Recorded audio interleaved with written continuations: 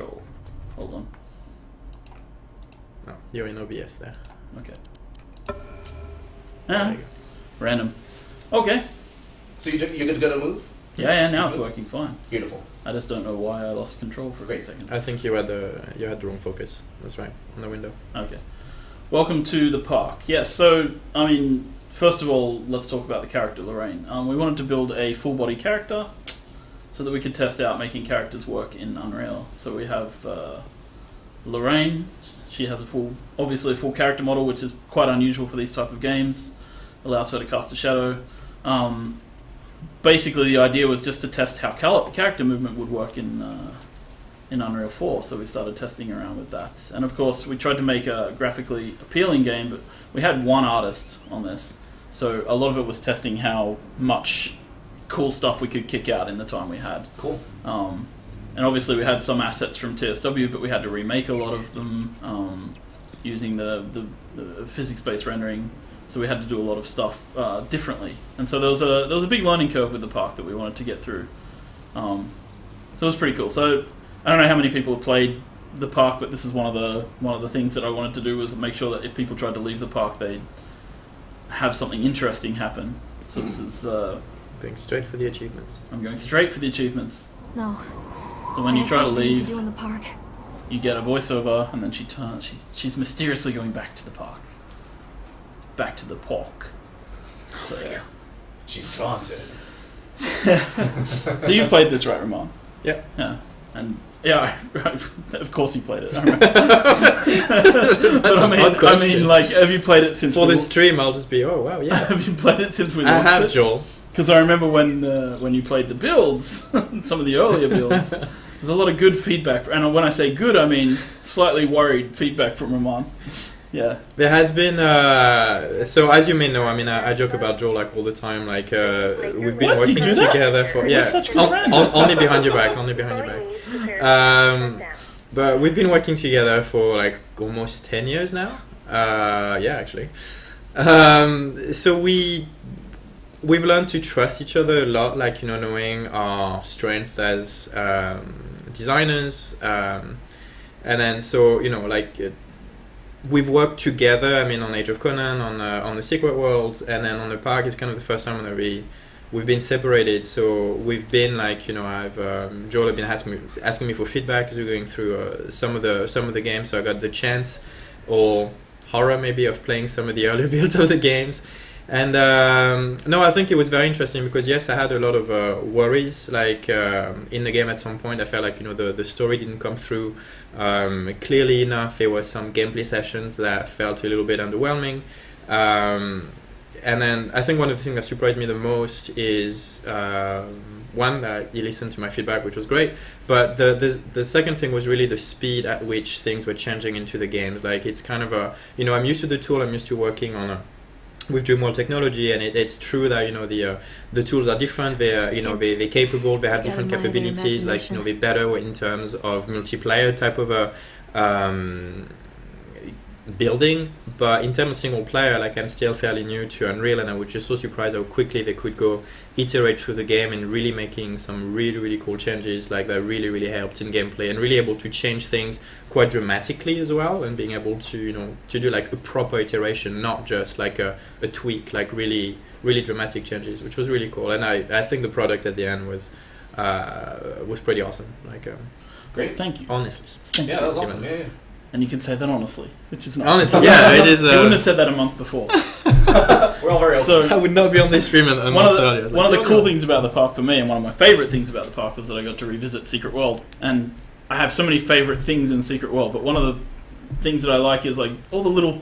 You drop in hints here, and you throw out little little pieces here to the players. And uh, as a writer on the Secret World, that's so much fun. So this is, of course, people recognize this. A kid from the academy told me this story, so don't blame me if it sounds silly. He might have been poking fun at a poor townie, but I'm writing this down because the league needs to know. William D.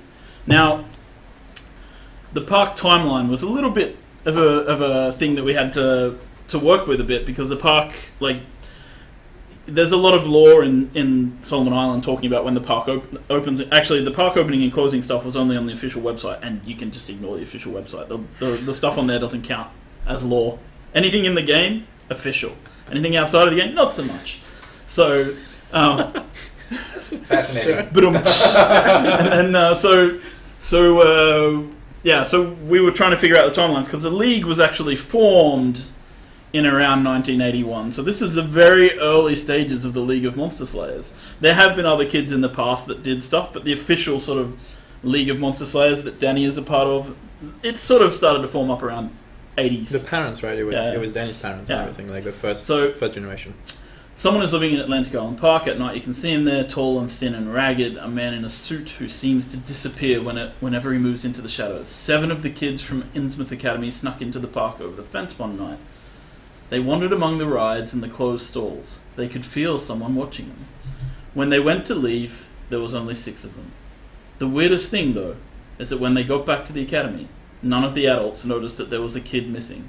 It was like the adults had their memories erased that the missing kid and everything about them was just gone. The kids at the academy tried to remember. They call the man in the ragged suit the boogeyman, and they say to be careful, because if he gets you, the whole world might just forget about you. So that's kind of fun, because I get to build a little bit on the, the canon of the boogeyman, Mm. because the boogeyman, of course, exists in the secret world, and, you know, because B powered fighters get to kick his butt, I wanted to build on the mythos of that from the outside. Like, what do people who who have sort of encountered something Mhm. in the park? And of course, this is tension building, and I don't really expect any player who doesn't, you know, who who doesn't like to go digging around in all the spaces to ever find that note. But it was just something I wanted to put in there. So And I've seen just to make it clear, so a small reveal here, like you know, you've seen that um, that uh, pop up. So the the the monster shown in there, like you know, was the boogeyman. Uh, I I've seen people wondering if it was Saeed or like Kirsten Geary without makeup, maybe, but it is it is uh, the Yeah. boogeyman. Oh, one cool Helms quick thing also I wanted to add open. is that so the voice of This the announcer that's asking folks to the world. go Oh, yeah. to their thing, yeah. So that so that's actually our very own uh, Sesmer, also known as Lori Payne. Uh, she yeah, her, we we got to use her voice uh, in the game, and she's super proud about it. yeah, and it was She's it was really good out too. to Yeah, yeah, she sounds really good. I was Yeah. really happy. Yeah, she she really nailed it. Yeah, it was Yeah. awesome. Yeah. So I think she did a great job. Um, yeah, and that's one of the cool things. Like at Funcom, you never know when there's going to be someone in the company's voice popping up in a game here and there. As long as they're not saying anything like honourable or anything like that, it's fine. right. So Atlantic Island Park, a tribute to the untamed heart of Solomon Island and the people who use their talents to bring the dream of Nathaniel Winter to life. May this park be a place where joy and laughter are gathered and used to infect all of those who follow after. Dedicated this first day of May 1977, James B. Longley. James B. Longley was actually the governor of Maine at that time. So there you go. Joel does his research again. Amazing. Yeah, wow. I have to say, like, I've had a lot of people uh, on this stream. Like, you're probably the one who reads the best. Thank you. What? Thank you. With skills I didn't know you had. Right. so really important. Um, Hey, Lorraine. sort of this this scene. Lorraine. A lot of people gave us Don't feedback, and they're like, "Oh, you know, People Um, lose things all the time. Take a deep breath. Think about the last place you saw your son's teddy bear. Hey, stop! I think your boy just ran into the park. I'll unlock the gates for you. So Lorraine's little boy Callum runs into the park, and a lot of people kind of uh, were like, "Oh, you, you wouldn't just casually walk after your kid here. You'd be running. You'd be screaming." Right.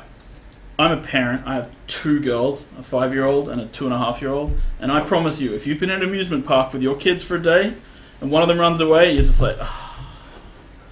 and you walk after them. You don't care. You're like, like whatever. So yeah, that was kind of fun. And here we introduce our shout mechanic. So this was cool. So sh- so this was really kind of the key core aspect of the game. Callum, I told the you to shout wait in the car. Um, this way, Mom. we really, really wanted to give sort of we really wanted one mechanic in the game. We wanted to keep it very simple. It's obviously like a walking simulator type game where you walk around. There's no failure state. You can't die. So we wanted to make sure that there was a mechanic or two, and we wanted to sort of try to refine them and make them interesting. So that's part of what we did with the shout mechanic. So I'm just looking at the Nathaniel Winter welcomes you to Atlantic Island Park. Nathaniel Winter being the um, Willy Wonka type uh, figure who Mhm. created, and that was actually the direction, make him look like a creepy Willy Wonka. Oh, interesting. And Okay, that's on the- cool. so that's that's his. I love his face here. It's nice and Nice it's just those Very dead inviting. those dead Wait, dead wait, eyes. Callum. park. And then read Fly, yeah, so here's a little bit about different things in the park. I'm not going to read this entire thing. It's, uh, yeah. But it's it's fun. It introduces Chad the Chipmunk. So, yeah, A lot of references, Yeah, a to, lot of uh, references to the to secret TSW. world. a like, lot of know, you TSW references. And there's Callum up the top of the escalator, so we're going to jump on the escalator. Um, you know, you can shout after Callum. Where are you going? And then, There's oh, you something don't have special subtitles. about the entrance We to an don't. amusement park. set them up. Settings. Um, is it under? It's under audio, isn't it? I should know.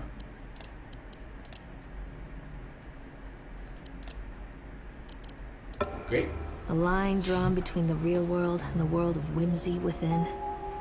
On this side, So yeah, funny thing apathy actually. I think everyday that uh, lives. Wasn't that uh, the other, escalator the first thing really Anything we might dare to dream? made for the game, like the first type of gameplay was in the It's very no first iteration. Callum I ran think back I've seen of inside. that. Yeah, we, we made the escalator really early. It took us like two weeks to figure out how to do it. depart is now it doesn't use animation. It's all physics Have a safe driven, um, which is kind of cool because we didn't have an animator. We had to figure out how to make things work.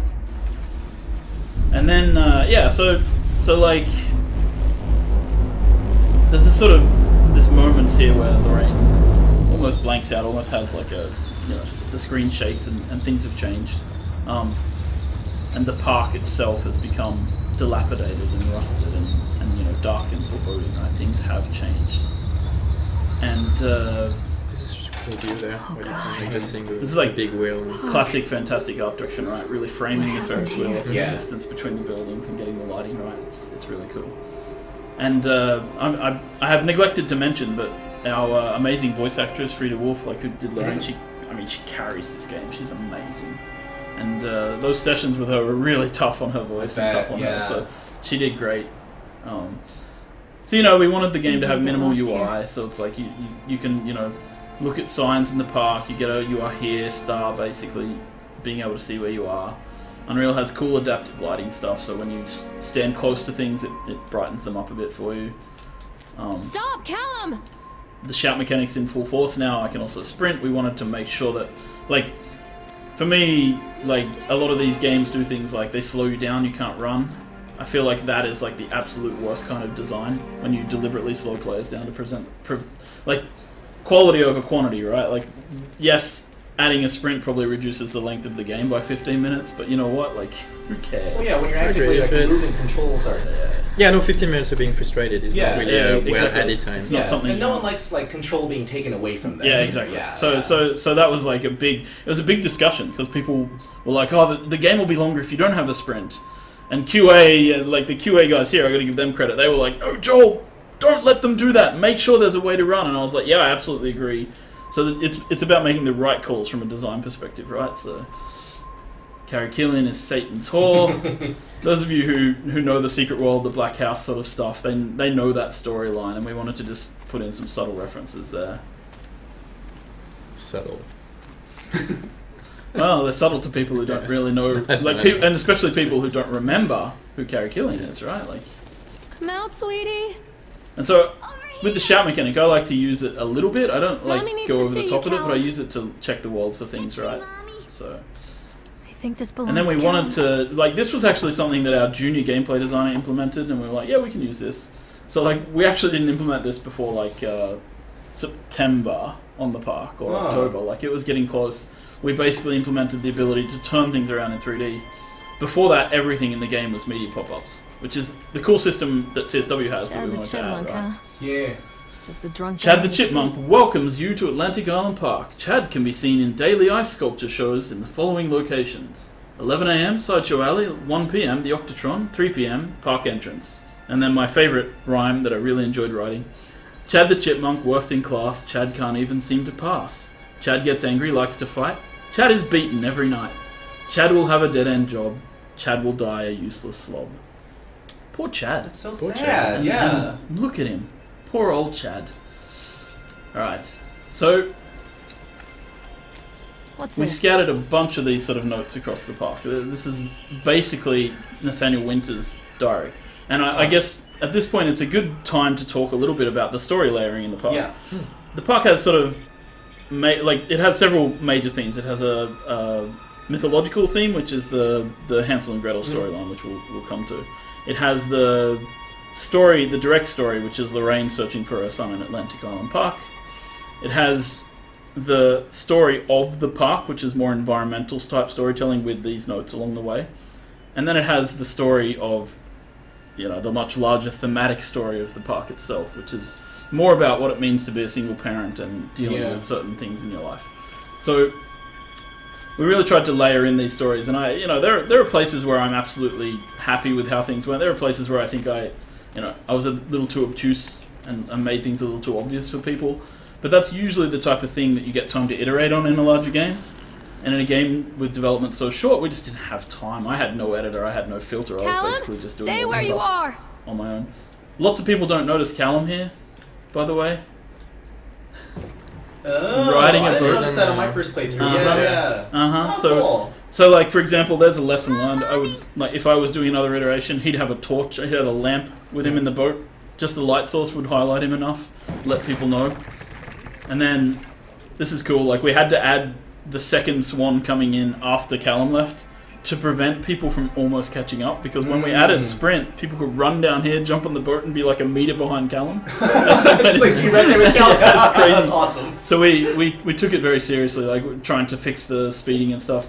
Um, this is the Steam build, right? Yes. I cannot speed this up. Should I just jump ahead of the Hansel and Gretel? Do you think? What do you think, Romain? Uh, what's the What fighting does the session? chat I don't know. think? Yeah, Let's- ask, what What does does the the chat chat think? think? Yeah. So uh, while we're in this little interlude here, we Sure. did have a kind of an interesting question. So someone was asking, what is being whispered in the background while you're looking at the Winter's notes? Oh, if you're standing under the lamps? Yes. I've seen other people seeing this, which is pretty awesome. Yeah, yeah, it's it's. No, I'm not gonna say. Okay. wow. No, it's it's a because a hit, it's, like- it's a it's a collage of different whisper whisper sounds. Okay. So it's a bunch of different stuff uh, said by the boogeyman, basically. And, okay. and filtered, changed. There's a bunch of lines I recorded for the Boogeyman. Like literally, I recorded 70 different lines with that guy, and we used like five of them in the game. Yeah. it's it's actually kind of a shame. We might as Um, well start the Yeah, ride. yeah, We're let's, going to talk at the same time. Yeah, yeah, yeah. so we're on it. Yeah, we're just going for it. Okay, So so great. It's something to show actually later. Actually, do you, I don't know if people know exactly what you know that, that question was about. We'll, we'll make you listen to those whispers. Like Yeah. the actually, it's something I do want to say about in general for me is the the the soundscape of the entire game. I think was phenomenal. Like um, uh, design's Simon Poole, we did Simon uh, and Arrow, amazing. Yeah, it's very very good. Um, sound designers, uh, and yeah, they did a tremendous job like into getting this together. I think it's playing this game like on your own, just with your headphones on. Like it's really really immersive. Yeah. It's very very cool. So this is this section's a bit controversial though. This is the fun part. A lot of people gave feedback that they, this felt too long, too dragged out. It's a story they know, sort of thing. What we wanted to do here, and like from a technical pers- perspective, was like I wanted to experiment with environmental storytelling. So I was telling the guys like, hey, how can we tell a story in the game? I don't want to use a cinematic. Yeah. I want to just try out something. And we talked about having the player actually walk through a tunnel Mhm. and have that trigger things. But then we, you know, we thought it was more appropriate with the the lake, Yeah. right, and and following the swan. So we did it. It, it takes about. I think it's about six and a half minutes to go through the entire thing, which is of course a long time in game time, where we keep you passive, right? Like you, you can't do much in here apart from look I around. cannot do that. So we really wanted to make sure that Then the story was somewhat interesting. It, Yeah. and and I think like on some level, this story frames a lot of what the game is about thematically. Um, it's about hunger. It's about Do not fret, you Gretel. it's about Hansel hunger. said. It's about this theme He of like being of hungry, hut, not just necessarily for from the um, to fill his pockets. for food, For which is kind of the, the, the cannibalism implied in the story and all that sort of stuff, and where it comes from. In the original story of Hansel and Gretel, I mean, The the, parents morning, the abandon their children because the they're children starving, into and the they, forest. you know, in, in- leave, it's it's sort of set in the, gives them a the, the original famine in, in Europe, which is them you know medieval times. They, they actually did eat children Mm. To keep the village alive. They would sacrifice Clever a child Hansel and then leaves cook a them and eat trail them. Of it's- white stones it's- it- behind them. as with all fairy tales, extremely dark undertones. When their father Um, leaves them, the and the, this story is a, is a little bit about then hunger. follow the trail Apparently, uh, apparently there's an Easter egg where you can actually see Chad. He's and right Chad. there. Oh, there he is. Right. Awesome. I just nice. got the there chance it is. too. Awesome. Oh, so After uh, real quick, while we're going through the scene, from their Yep. uh, parents is for we put a little raffle up for a the copy of the children park? Sure. Yeah, awesome. any Awesome. supper. Yeah, it's Great. not- Hansel So we're gonna get that started out for you in just a collect moment. More white stones, but found that the door was locked. It's Tomorrow Twitch. I'll Kappa, take kappa. them into the woods myself. so I told the woodcutter. Ah, So you, you know, get- you know your twitchery. So you can go ahead and participate in the raffle by simply In the typing morning, uh, their mother exclamation gave them raffle a slice in of chat. bread and led them deep into the forest once again. So yeah, so another thing actually here, just we're talking about Simon second ago. This is actually him uh, also doing Oh, yeah. the, vo- the voice acting for this, uh, for Simon this section. Simon's the voice actor here. He's also like he's an amazing voice actor. Yeah. and he's like fill in the gaps guy on the Secret World as well. It's like whenever we need and his trail an actor and we don't have time, but we want voiceover and we don't have time to get an actor into the studio, we, we're like Simon, could you do this? And he's usually Unable very to good. the trail home. And it's something which is actually interesting. I thought about like sound designer. I'm gonna out uh, Fryda a little bit. I hope she's not listening because she might hate me for this, or you know maybe she'll enjoy it. But she used to be as well actually a sound designer. That's how she started uh, a career. And as a lot of sound designers do it, like a lot of game eventually children require sound. You don't get time to get with you know you don't have time to get an actual actor, so they do it themselves, and eventually they learn. And in her case, she was extremely good at it, and was like, well, actually, no, I'm, I'm having fun doing this. So she became an actress. But now, from our perspective, She's an actress who's very, very talented, but on top of it, she knows everything that her games need. Like, you know, compared to some of actors who might not know, you know, what it's like to do breathing for video games or this kind of extra stuff, she knew all of it. So it's just like, you know, put her in the booth, three chords, you know, and then come back later and everything, your game is done. It's kind of a, it's awesome. Yeah. People like this are I should I should give a shout out to Rob King at Green Street Studios, which is our partner in LA, because he's he's a really good director. Like he gets good work out of all the actors as well, right? And so like when we run set recording sessions, you know, I'll be there and I'll be giving my feedback on what the lines should be like, or you know, Josh does his when, when you guys do recording sessions. But The um, old woman reminded them of like Rob the, with. Callum, the boy, Yeah. we wanted a real kid. And, and that kid is five years old, the one who's doing Callum's voice. And like Rob got such a good performance out of him. I mean, I know Callum's not like front and center in the game, and, but like we recorded first with a uh, uh, a female actress, which is kind of common, right? For a boy's voice, you do a female actress who's like you know in their twenties or thirties, and they like pretend to be a young boy. Right. Still licking And like we did an actual boy in this case, and it, it was light years ahead. It sound it sounds sounds really authentic. It gets Yeah, the feeling of the kid, Yeah, right? You know, yeah. you know that there's a kid. Yeah. so that was what we pushed for, and that was really cool. Awesome. So So for quick reference, also, so this raffle is actually going to be for a free copy of the park. Um, and put do we Gretel have to a work, winner yet? sweeping Let's take a and look. cleaning her hut. we should also send them a mom's hat. Your brother will make a good mouthful. The old witch told Gretel. What? Take that counter one, folks. All right. Fattened up. Aye. If I get punched during the stream, it'll be worth the drama. It'll be good, good for hits, man. It'll get us For the record, we actually are setting up a counter on how many times It will feel how many times great. we're teasing her on It will feel great. I'm sure you're loving this right now. I'm so Clear sorry. we all love you. For the record, I'm staying at Romain's house, so if if he murders me in my sleep, it's all good. I have a dog that I on. train for. Cook and eat All your right, all right, folks. We actually have a winner now. Uh, congratulations to. I'm sorry if I mispronounce your name, Haffelheim. Gretel We'll have a copy of the park emailed to you as soon as possible. Congratulations and thank you. not Congrats. Woohoo! how. Where is the opening? Haffelheim. Your Hasselheim. time, Hasselheim, your time has come. The Great. opening is here. Get to the chopper. Gretel, seizing her courage. I'm way, I, I'm way too jet lagged and excited to actually play the part with the amount of gravitas that it actually deserves. Is just like Gretel slid along. Well, no, this is great though because like we're getting a lot of like insight on like the design decisions Yeah, and like I'm what just- into it. Like I'm like I'm not I'm I'm, not. I'm not playing this with the right attitude. though, right? I'm, Well, like, I mean, that is I'm like every other Twitch streamer in the world. Yeah. Like yeah, yeah, yeah, yeah, yeah. Nah, it's all good. No, no, I mean, I, I, I personally appreciate like yeah the insight that you're offering for like you know the the, the, the creation process for this because this is like you know this is kind of a new turn for the company and Yeah, like, oh, yeah, going yeah. back- like a back to form of single player games. Like it's really cool. It's, Because yeah, I, Yeah. Children and oh yeah, survive on sweets. that was fun. They So, like- up the body Yeah, the the final slide was like it was like I did put a twist in the story. I just I think six and a half minutes was probably too long for the payoff. Yeah. So like next time I would shorten it or make the ride faster or do a few things right that we didn't do Yeah. this time. But I mean that's also part of the. It's looking at me. Romain. Oh no! Hold, Hold him. That was your plan all along, wasn't it? Like the whole game just for that moment. Oh. Je suis. Oh, comment allez-vous, Romain? I knew this was a Comment allez-vous? This was a bad idea. South African. Should I do South African? No, you French shouldn't. or No. Australian?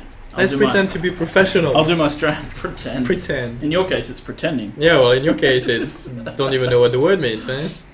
So with the fade to blacks getting off the rides, we also really wanted to actually add animated transitions there, but we just didn't have an animator. So it was like either fade to black or snap to, and we, we just went with fade to black. It works. Yeah, it's a little thing, and but I think like the time was I used to well read spent on Callum when other the things. electricity was shut off. Those poor children. Great. The whole world against them. The forest. The birds. Yes, I think this was an important part, like wish, telling that story with those uh, with those sections. There was actually an interesting thing as well about the park when I was talking about earlier iterations and earlier feedback. So I had like the original hand in hand part of the game had a very different gameplay in the fact that the the park was a lot more open.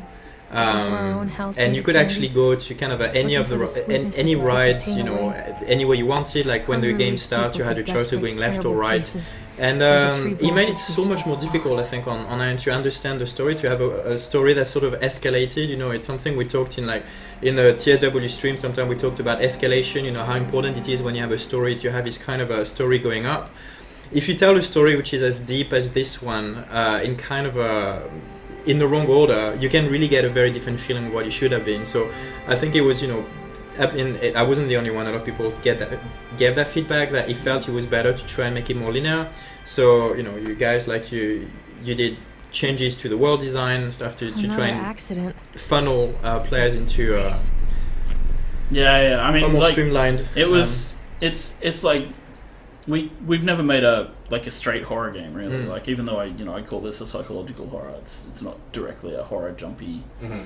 sort of violent sort of game. But um, yeah, one of the things was really interesting because when we started out, it was like each ride had a theme, theme to her. You know what was going on with her and what was going on with Callum, and there was kind of like we started out with an open world map. Yeah, and it was like you can go anywhere, and the only thing that we're going to make you do in the end is the House of Horrors, so you could go to any ride at any time. But when we tested it, the more and more we tested it, the more I realized that it just it like it doesn't work with the sort of the building of tension, Yeah. right? So like it's sort of we, we we first put in a step where there was three stages of escalation in the tension, and then we eventually just made it linear. Stop hitting the table. Stop hitting the table. I'm sorry. I'm excited. I'm Italian. I talk with my hands. Now, funny thing is actually, on, I think on the first stream that we did with Joshua, that's the two of us where this is something like I think we we tend to talk like very, very get very agitated, and that was one of the main thing. We kept hitting the table, and then uh, yeah, we've learned this on that first stream. And the, everybody in the chat was like, "Stop hitting the goddamn table!" Despite the constant interruptions to work, Atlantic Island Park will be opening on time. The governor is booked to cut the ribbon, ribbon, so the only real question is whether we will have any customers. I'm not truly worried. The customers will come out of simple curiosity. I deduced what was needed from the banned writings of Archie Henderson. It's astonishing to think that a resonance of positive emotions can be used to fuel such a process. Henderson himself chose to use negative, and that caused some of the taint that still lingers in this place. I will not make his mistakes. Very soon, I will know if this has all been for nothing. Very ominous. So we were not making fun of you at all in your back. Oh, no, that's Just- fine. it's, It's a lovely dramatic reading, sir. I was trying to read it. It's like, God damn it! I'm too far from the screen. The um, you turned into Mr. Burns. I, were I there totally kind of, uh, missed. By the way, yeah, he is Mr. Burns in a way. that's, that's what you're channeling. I, I went into the character that I wrote. Nathaniel is. I missed the the other note that I skipped on the bench. Like I just Mhm. looked at it very briefly. I actually missed one of the coolest references in the game. So this is cool, and I'll walk as I talk about this. Marketing and like market the marketing team and the management team they really hated the the prototype name that we have for the project, which was just Atlantic Island Park. Right, that was what we called it internally, and all of the guys on the team were like the three of us were like Atlantic Island Park is a good name because it explains you know where the location is, and people were like, in internal in the company management were like, no, no, no, no, like Atlantic Island Park means something only to Secret World players, and this game is more than just for Secret World players. It's for a lot of people, right? And they, you know, theoretically they're right, but we were very proud of our name, and we were like Atlantic Island Park, Atlantic Island Park, and there was a lot of back and forth. And so, when you read that note, that particular note by Mhm. Winter, because obviously after a process we came up with the name The Park, which is, you know, it, it, it doesn't alienate people who haven't played the Secret Sure, yeah. so that's kind it's, of the it's a good on it, and name. it It's works. definitely like he does what he needs to Yes, be. It's exactly. kind of a So, so that's fine. but like when I wrote that note from Nicholas Winter, he says he says um, Atlantic Island Park.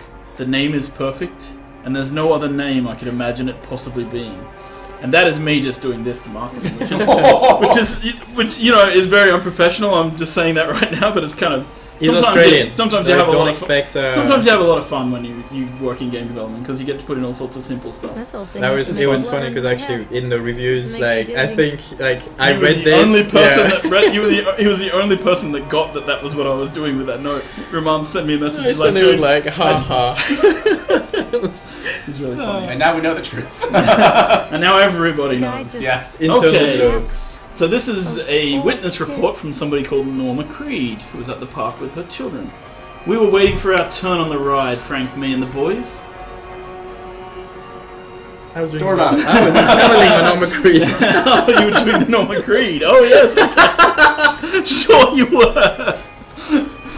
The fellow in the chipmunk suit is making an ice carving while people took photographs. Lawrence wanted to go over to him, but I've always been a bit wary of those silly suits.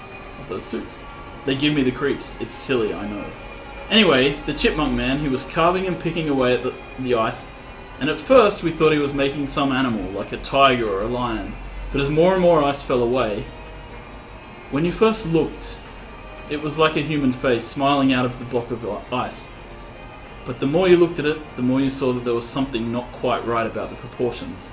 Something unnatural that made your heart begin to beat just a little bit faster, like you were prey, like you were prey, and that thing in the ice was a hunter. But then these teenagers walked up, and one of them made a face at the carving and said something rude to the guy in the chipmunk suit, and then, well, he went berserk. For a few moments, it was chaos. Everybody was running away from the guy, who had one of the teenagers on the ground, and who was stab, stab, stabbing with the ice pick. And blood was spraying, and people were screaming, and Frank and I had the kids, and we were dragging them away as fast as we could. And the last thing I saw before Frank dragged me away was that the eyeball of one of those poor kids had landed on the ice sculpture, making the horrible creature look more or less alive.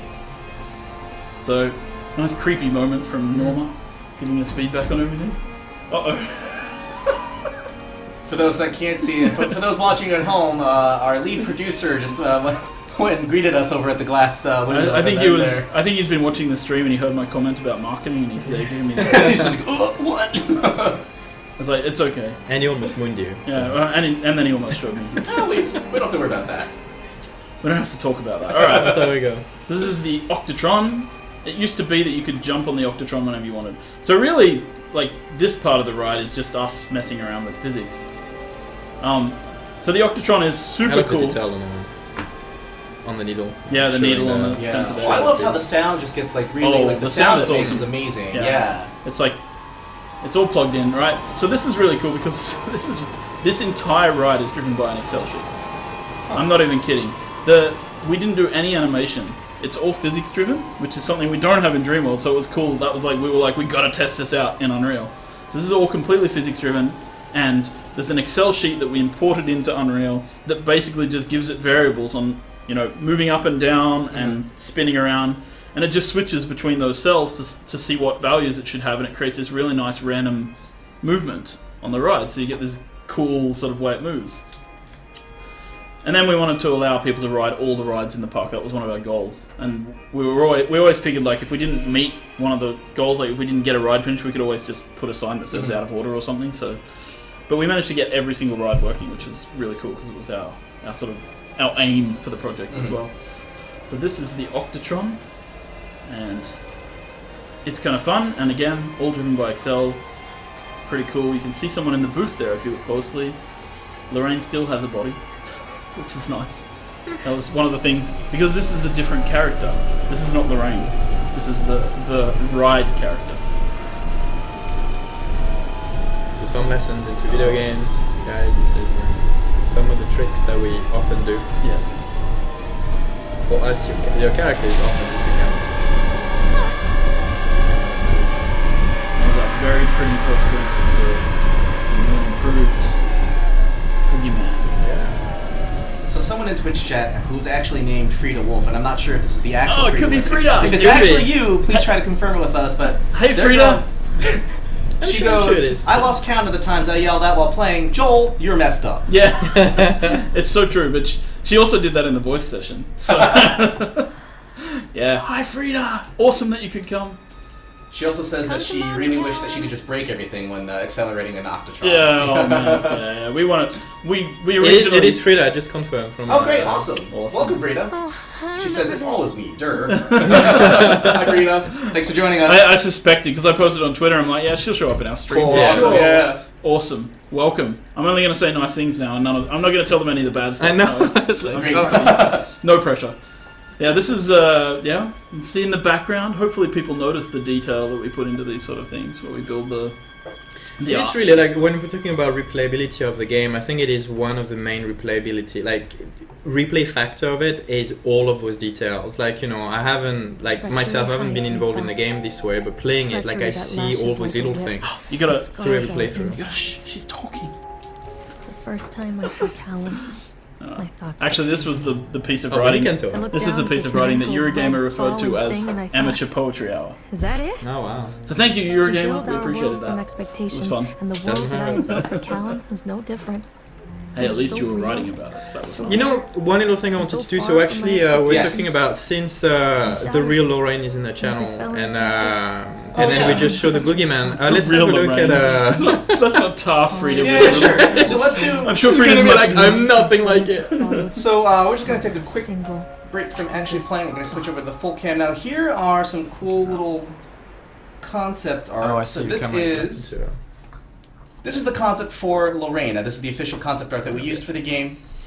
Um, you can see that the so I, I, I remember reading on the artist's blog about this that the high waisted pants were like the iconic Yeah. element of Yeah, the character. yeah, yeah. And like, So as soon as she draw that, it was just like So- we have to go with this. So, so Jenny, who's our our character artist, and she's amazing.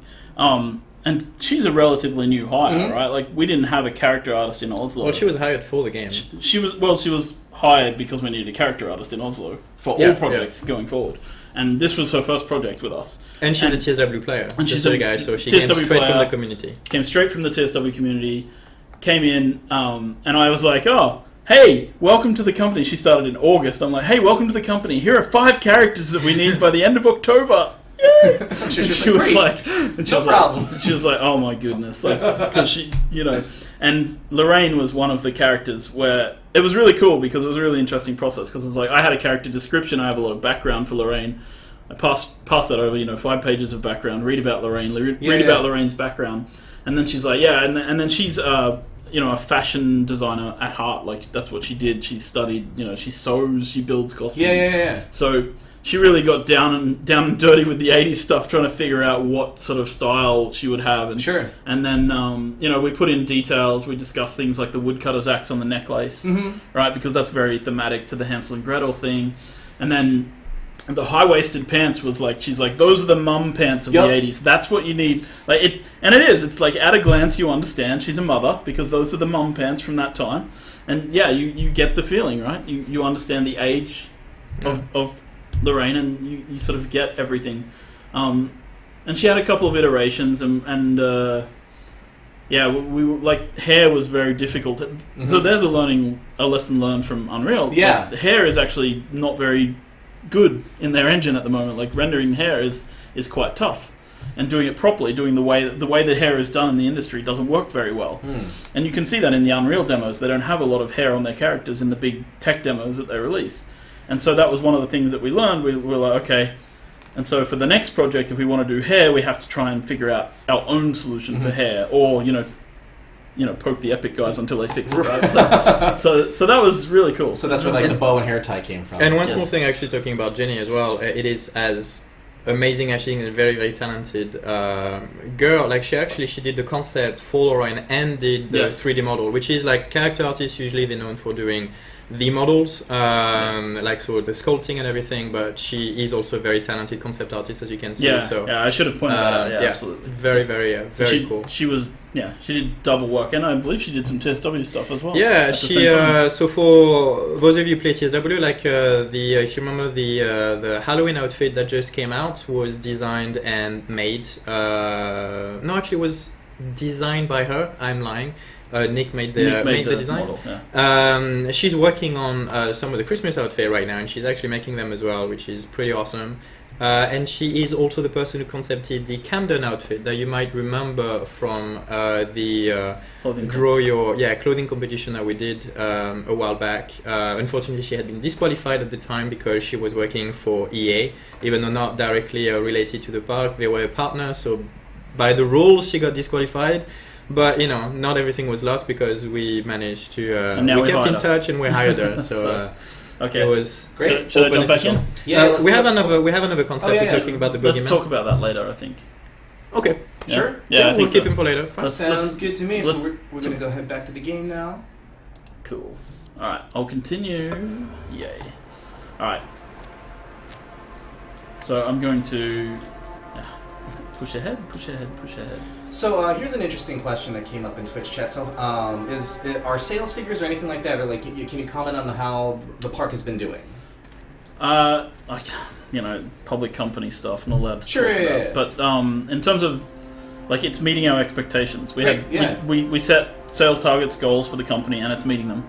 It's no problem at all. It's going fine. Great. So yeah, we're really happy with that, and you know, I'm really I'm happy very with happy that. with that too. So yeah, that's So great. it's, it's, it's it's meeting our expectations for the game, which is great. that's Sounds awesome. good. Yeah. Awesome. No, definitely. It's it's an encouragement for us to do more things like this in the future. It's uh, what we're taking out of it. So yeah, observant people will notice there's something flashing there in the background, but you can't see what it is really. Reading the page, oh my goodness, this is gonna be fun. I thought working in the park for a summer would be a lot of fun, but the end of season here really drags. There aren't that many tourists around, and so most of the staff spend their days standing around gossiping, and most of that gossip is about Chad. I mean, Steve. See? Even I'm starting to call him Chad, and I went to school with the guy. It's that goddamn suit. In the beginning, it was a laugh. Steve, the local lush, as Chad the Chipmunk, child friendly mascot at Atlantic Island Park. Lock up your daughters and all of that. But the more he wears that suit, the weirder Steve is getting. At first, it was little things, like refusing to change out of the suit at work and taking it home with him every day. But then I saw him at Susie's diner, still wearing it, and it wasn't even a work day. Some of the staff complained, discreetly, to park management about the smell, and I saw him walking and talking with Mr. Winter, the owner, one day. But nothing seems to have changed. The suit still smells like a carcass whenever Steve walks by. And apparently, Steve has picked up some new skills since the last time I saw him puking up in the gutter outside the cycle station. Because he sure as hell can carve a mean ice sculpture. Those shapes he makes in the ice, though, they give me the creeps. Steve came by the booth today, lucky me, and he just hung around for a while. I couldn't really tell because of the suit, but it seemed like he was just staring at me, sizing me up, eye fucking me, whatever he was doing. I asked him what he wanted, and he just stood there, not saying anything.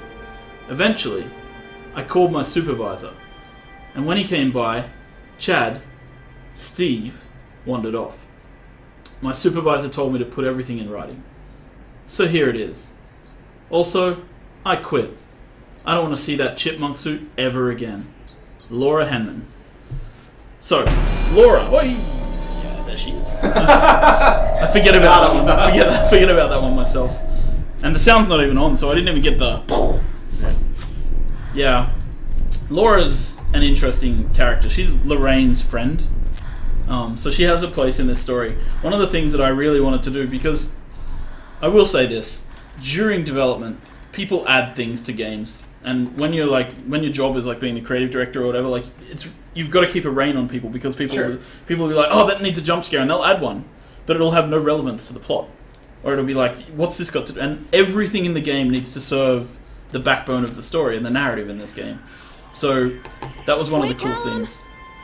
So um, when they added this jump scare Yeah, with yeah, her, yeah. I was like, well, we need to repurpose this and make sure that it has a place in the story. So I added Laura as a character. Um, and Laura is Lorraine's friend who works at Atlantic Island Park. And you don't really get to know much about her, but you see her at least music. two or three times in the game. Guess it floats You see a someone's picture of her, right? Later on. Yeah, yeah, yeah. And yeah, more than just a picture, but we'll get to that. Yeah, that's cool. So this was real. This was another development challenge. Every time people walked in here, they ignored that. They just didn't see it. right? So we wanted to we wanted to highlight it. So that's why the sparks fly Yeah, when yeah, you go yeah. near it.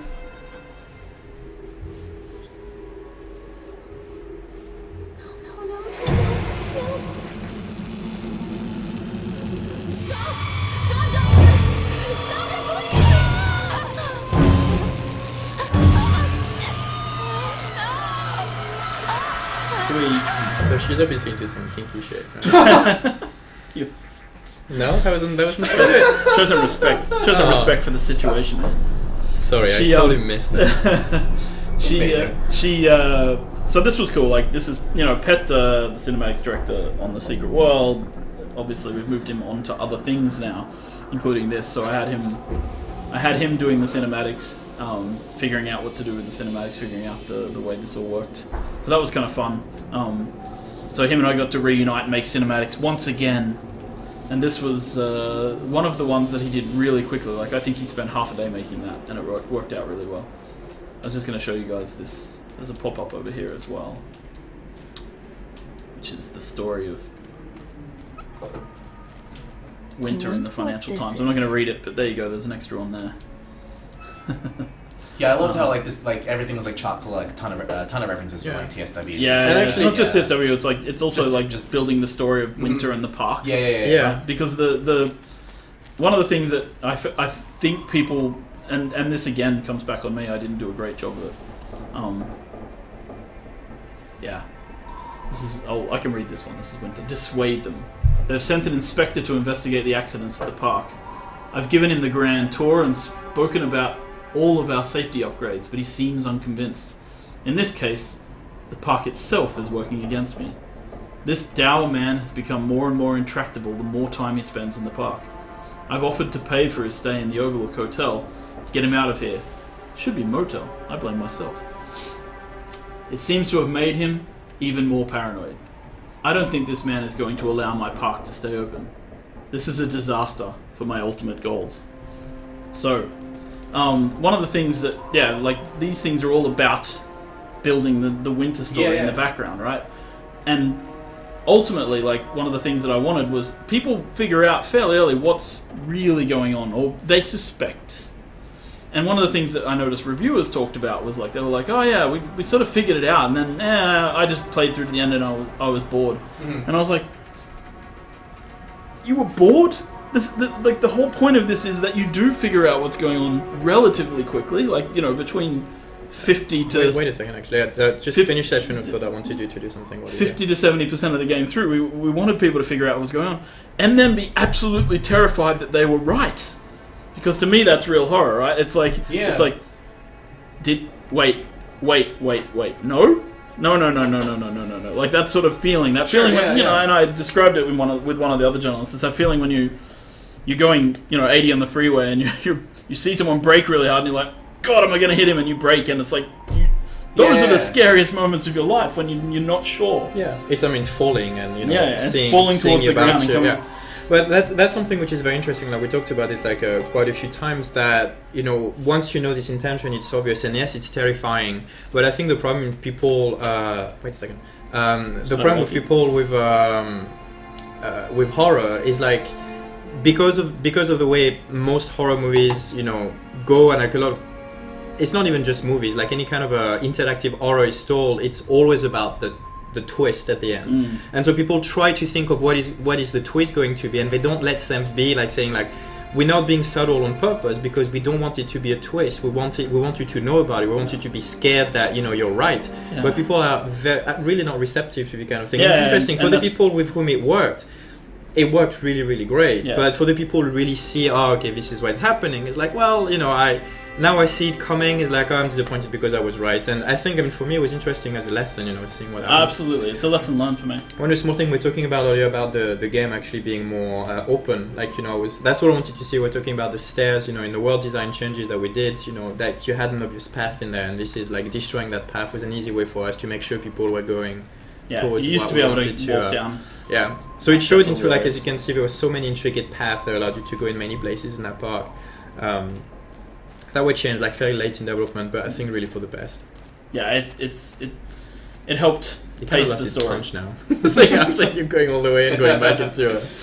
so hey, uh, real quick. Uh, so we are going to do another raffle uh, for another copy of the park. It's about six o'clock uh, at this time. Yeah, you we wanna- can do it a little bit later. I think you like wanna- towards the do- end of a You yeah. do it a little bit later? Yeah. Okay. Okay, that's fine. Depending on how you guys are, like you know, we're probably going to play through the uh, through the entire games like Yeah, we're talking that's about. fine. So you know, if you start becoming too uh, too much and you guys just fall asleep, just let us know and then we can just uh, call it. But Okay, if yeah, not, all right, we'll, we'll uh, pause the raffle. That's totally fine. Yeah. Uh, we'll just keep going and we'll announce it later.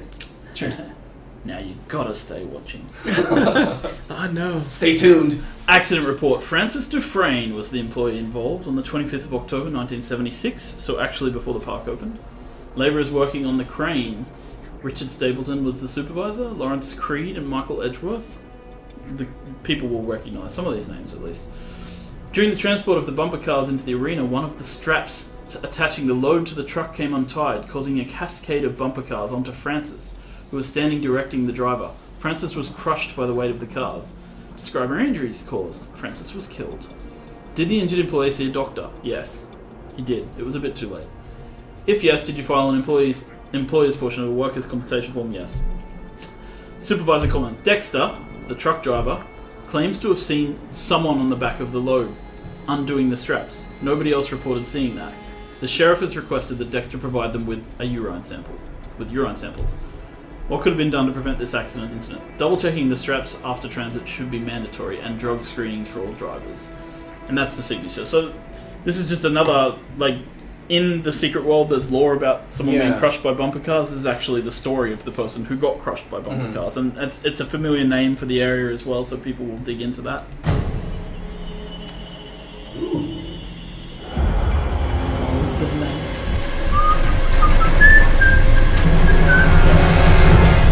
Or it might be creepy me singing. I don't know. For all the wrong reasons. I feel like that scene was like kind of referencing what you were talking about. Also, like you know, you're going on the highway and you know, you don't know whether or not you're going to crash into the car. in the front of you. headlights Yeah. are coming Yep. you, man, and and we lock you down so that you can't move to exactly create that Mhm. that, that tension, right? And that was really fun. And there we got to test destructible physics, smashing through the gate here. We were able to like, it's really cool. Like, there's lots of things in games that I guess people don't think about, but like, it's incredibly important with guidance, right? Like, so having the car crash and having the lights flash on the staircase is the most natural way to tell people this is where you need to go next. I was just Right? about to say this. I mean, this is really rule number one of design. Yeah. uh, we Yeah. mention it in a lot of the design, like uh, Lots of games completely designs, fail yeah. at it. So it's and uh, it's it's something which is like you notice in a lot of games now. Pay attention to lights, and you'll notice that every single time you have to go somewhere. I mean, in if games usually are well made, and if you understand where you're supposed to go, it's because the light is telling you there. It's Yeah. like you know taking your place for moth really, and we get attracted to it. And this is the same reason why a matter Joel, you know, public Joel was saying earlier, adding a, a a light to Callum when he's on the swan boat really when would make your eyes pop small, to it right away because it, left him asleep it in the car changes those colors an and really makes you look at it. Don't even remember and that's what great. was. Like it's really, it's very natural. Like you know, we were afraid. the I sheriff was standing next to the car, People will miss it. watching my boy through the window. Really, they just go Didn't there. like what I saw. it's quite fun how Judgment. the sorry I'm, I'm not going He to wrote talk me the about ticket one. without saying a Let's word. talk about the writing Just a a little bit scratch, it's quite fun how the the like the expressions that she it to me. uses Our on met. peop people who've played the park and I people know what you're going so through. they I, I noticed they start using them like in the world so today we were actually somewhere Help we were talk, discussing something and the CEO of Help was a Funcom said volts you know it's a matter of public veins. record and I, yes that's an expression but I I'd know rather where he got that from because he is not a native English speaker as well so he learned that in the park me. it was really cool But instead, my mouth said, And of Yes, course, she's sheriff. interacting with the sheriff, a a particular sheriff in, in this town. So that's kind of interesting again. I also thought it was really interesting how like her dialogue changes as uh, like her her tone and inflection and her like Alan, where did you know, go? what she's saying like changes and keeps like getting kind of darker and darker like as it goes on too. It really makes you kind of wonder like what's going on. With this? Uh, and we were a little bit here. Here we're a little bit. Uh, we we took away his replies and we just have the, the creepy baby crying noise, Mhm. which is always fun. so and it goes well up with yeah exactly was- with all the emotion from the from the call and again talking about was this baby cry it, it's one of those things that makes it really obvious it's like obviously you know you're not necessarily following Callum anymore like you know he didn't turn back into a baby so it's us being obvious on purpose and it's it's interesting to see when it gets misunderstood for uh, yeah. So this was originally there's there's a pop up here. I'm just going they to are click it, but going I'm not going to read it. It's basically down. the inspector saying they want to close Doesn't the park surprise down and me. talks about the different things. Bureau still misspelled Is it? mm-hmm. They didn't fix it.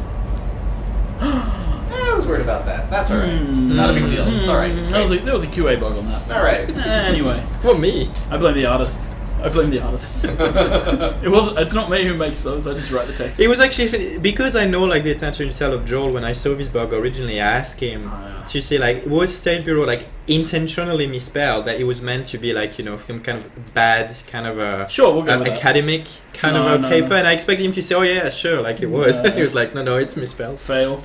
Um, originally, so this is cool. Maybe I don't know. Maybe people will think it sucks, but hey, I'm going to tell you anyway because you're my captive audience. Um, we originally had the baby, the doll where you get the roller coaster ticket was supposed to be on the Ferris wheel going around, and you would hear the baby crying in the carriage as it went past. Oh, right, yeah. so you'd hear the carriage. and That's so, a really fast. yeah, but we we and and the there was like a puzzle here where you had to Yeah. obviously slow it down and then pick up the baby, the doll, and the idea was that she thought Callum was on there, Mhm. and when she she's she thought Callum was on the ride and she stopped the ride and then it's not Callum it's a doll and then she like we have this we have a full motion captured animation where she picks up the doll and she just rips its head off because she's so angry that it's not Callum. And she has all she had all these lines that we recorded. I'm sure Fryda remembers this, and where where she's like, "You come down from there," and she's like super angry at him when he's up on the ride because he's obviously you know Yeah, messing yeah, with her. And the idea was when you when you came here, the Ferris wheel was stopped and the baby was crying Yeah. from the top, and then you had to start the Ferris wheel and stop it at the right location.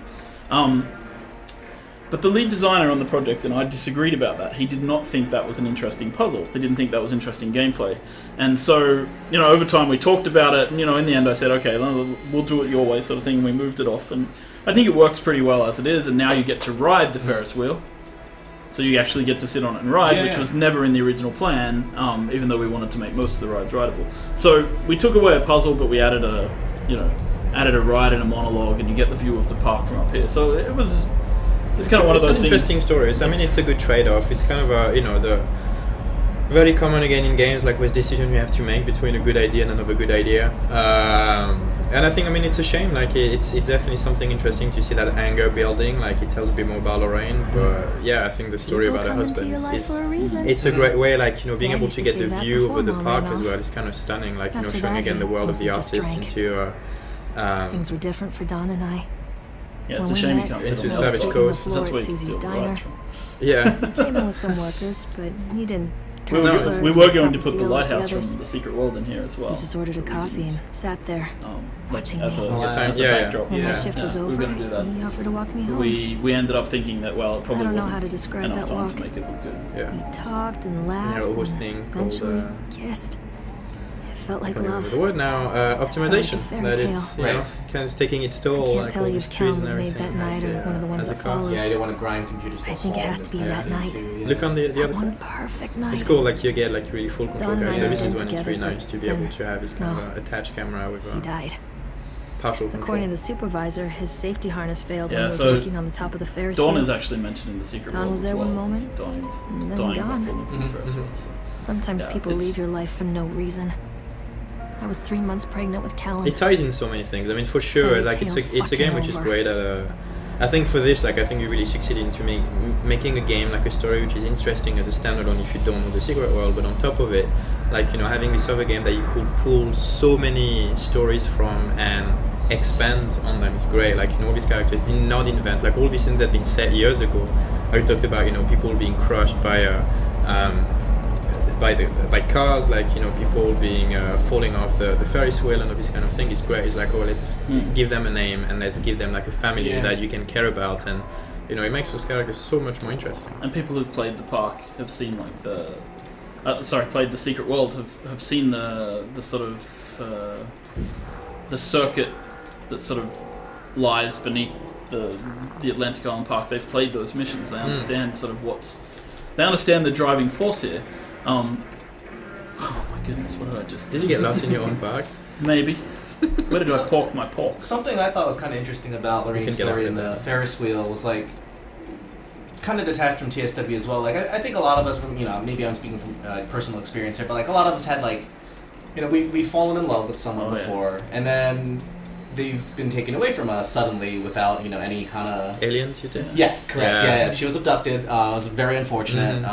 Um, went off to That Jupiter sounds and all tough, that. It was awful. It was a really rough experience. Did you All write a song time. about that? And now she's I- back in the atmosphere. My secret identity has been revealed. There you go. Um, He's he's a train. He's a train. yes, I thought I, Your I, face is amazing. I felt kind of a connection to Lorraine as a character just because of like that kind of Yeah. experience. I- Now, granted, I don't I, have a I kid anything like that. Lorraine's a hard character to love, yeah, but she's a character that I think is a piece of all of us, right? Like it's it's, it's like especially the parents, like people who Yeah. have kids. If you don't recognize yourself in Lorraine, well, then you're not the same type of parent as I am. And even when she's ranting, even when she's mad, because you have those moments as a parent, right? Mhm. Like you have. She's about to go into this, and this is something Fryda nailed. It's like, oh, it's just it gives me shivers thinking about it. It's so cool. Oh, here's a cool. Uh, here's an interesting question referencing the park missions and gravity and stuff like that from TSW. Uh, is there a way to see the circuits in the park? Is that something that you thought about making possible? Like you know the circuitry that, that uh, like the big the big investigation. conductor or transistor thing that was in the this stuff you just talked about, the uh, Yeah, you can, you can see it in the investigation, can't you? No, but no in the park. Oh no, we didn't. We Okay, didn't so- hide it. We should have, but we didn't. No, it's because you don't have the lenses, right? And the lens. The Yeah. actual Oh lenses, yeah, yeah, yeah, yeah. like good point, Winter's good point. lenses and Uh-huh. stuff. So we could have kind of done it, but sorry, I just saw Nick the pirate go past. I had to give him a wave. Love that man. Love that man. All right. Um. So yeah, this is what I was talking about. Fryda Nail. Like this dialogue here, it's it's really the first time Fryda escalates a, a lot. Like it's it's where you hear Lorraine sort of going in, and like this, I wrote this thinking about the times when I am like shit, like shit angry at my Yeah, kids, yeah, and I'm like, and kids. My my sister always says it best. Your kids are the people who know how to push your buttons better than anyone else in the Mhm. world. Kids and partners. A lot of people idolize their children. You hear them talking about their kids and just the way they talk, their fucking voices make me want to vomit.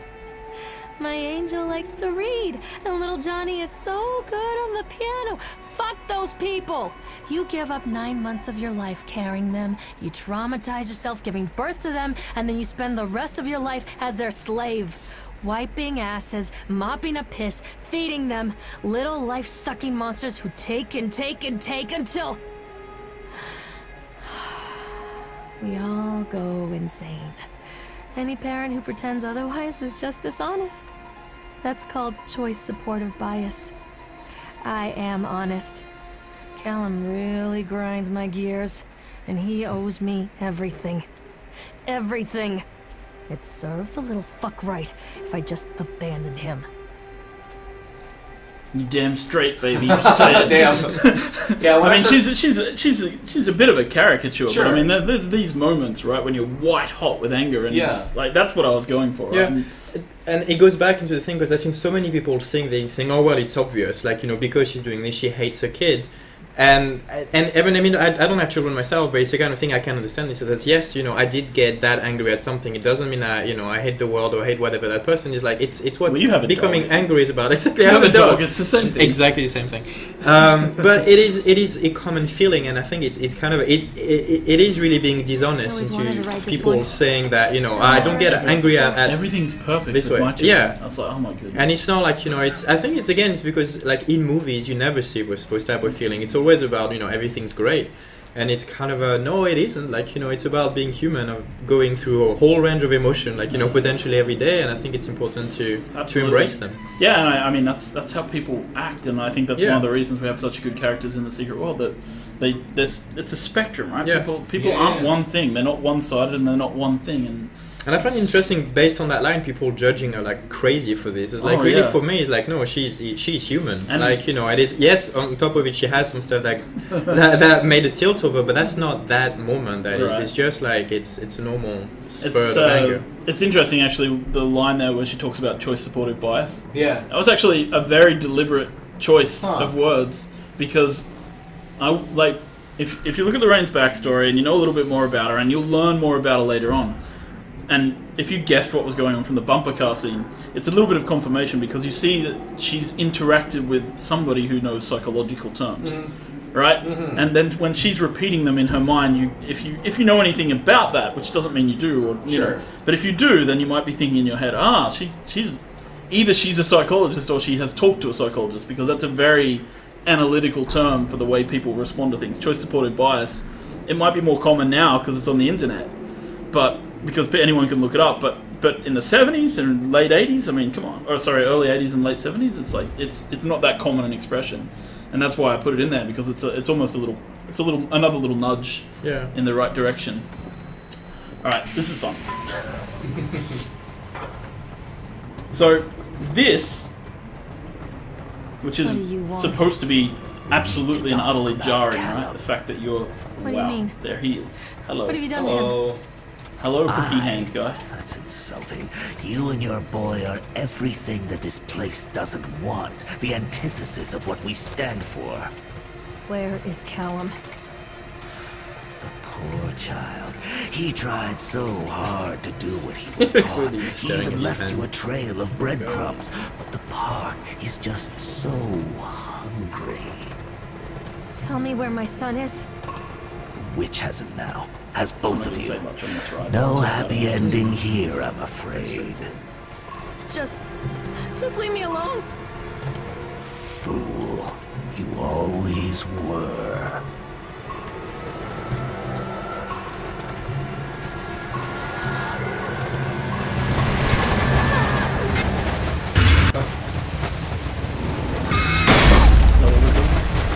Is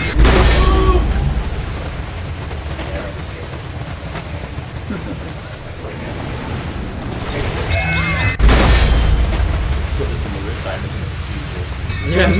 It's like- here. we're just doing this. We're just we're just all playing. I put, I put this in the rift at, at uh, in Oslo. I made this one. I had this run in the rift. Okay, this is what the- Oh, sorry. It's still pretty new, I so made you know, you guys might know I might be. That's what I did. I made it work in VR. That's, that's the, and it was freaky as. And then our coders did some more stuff with it, which made it even funnier and crazier.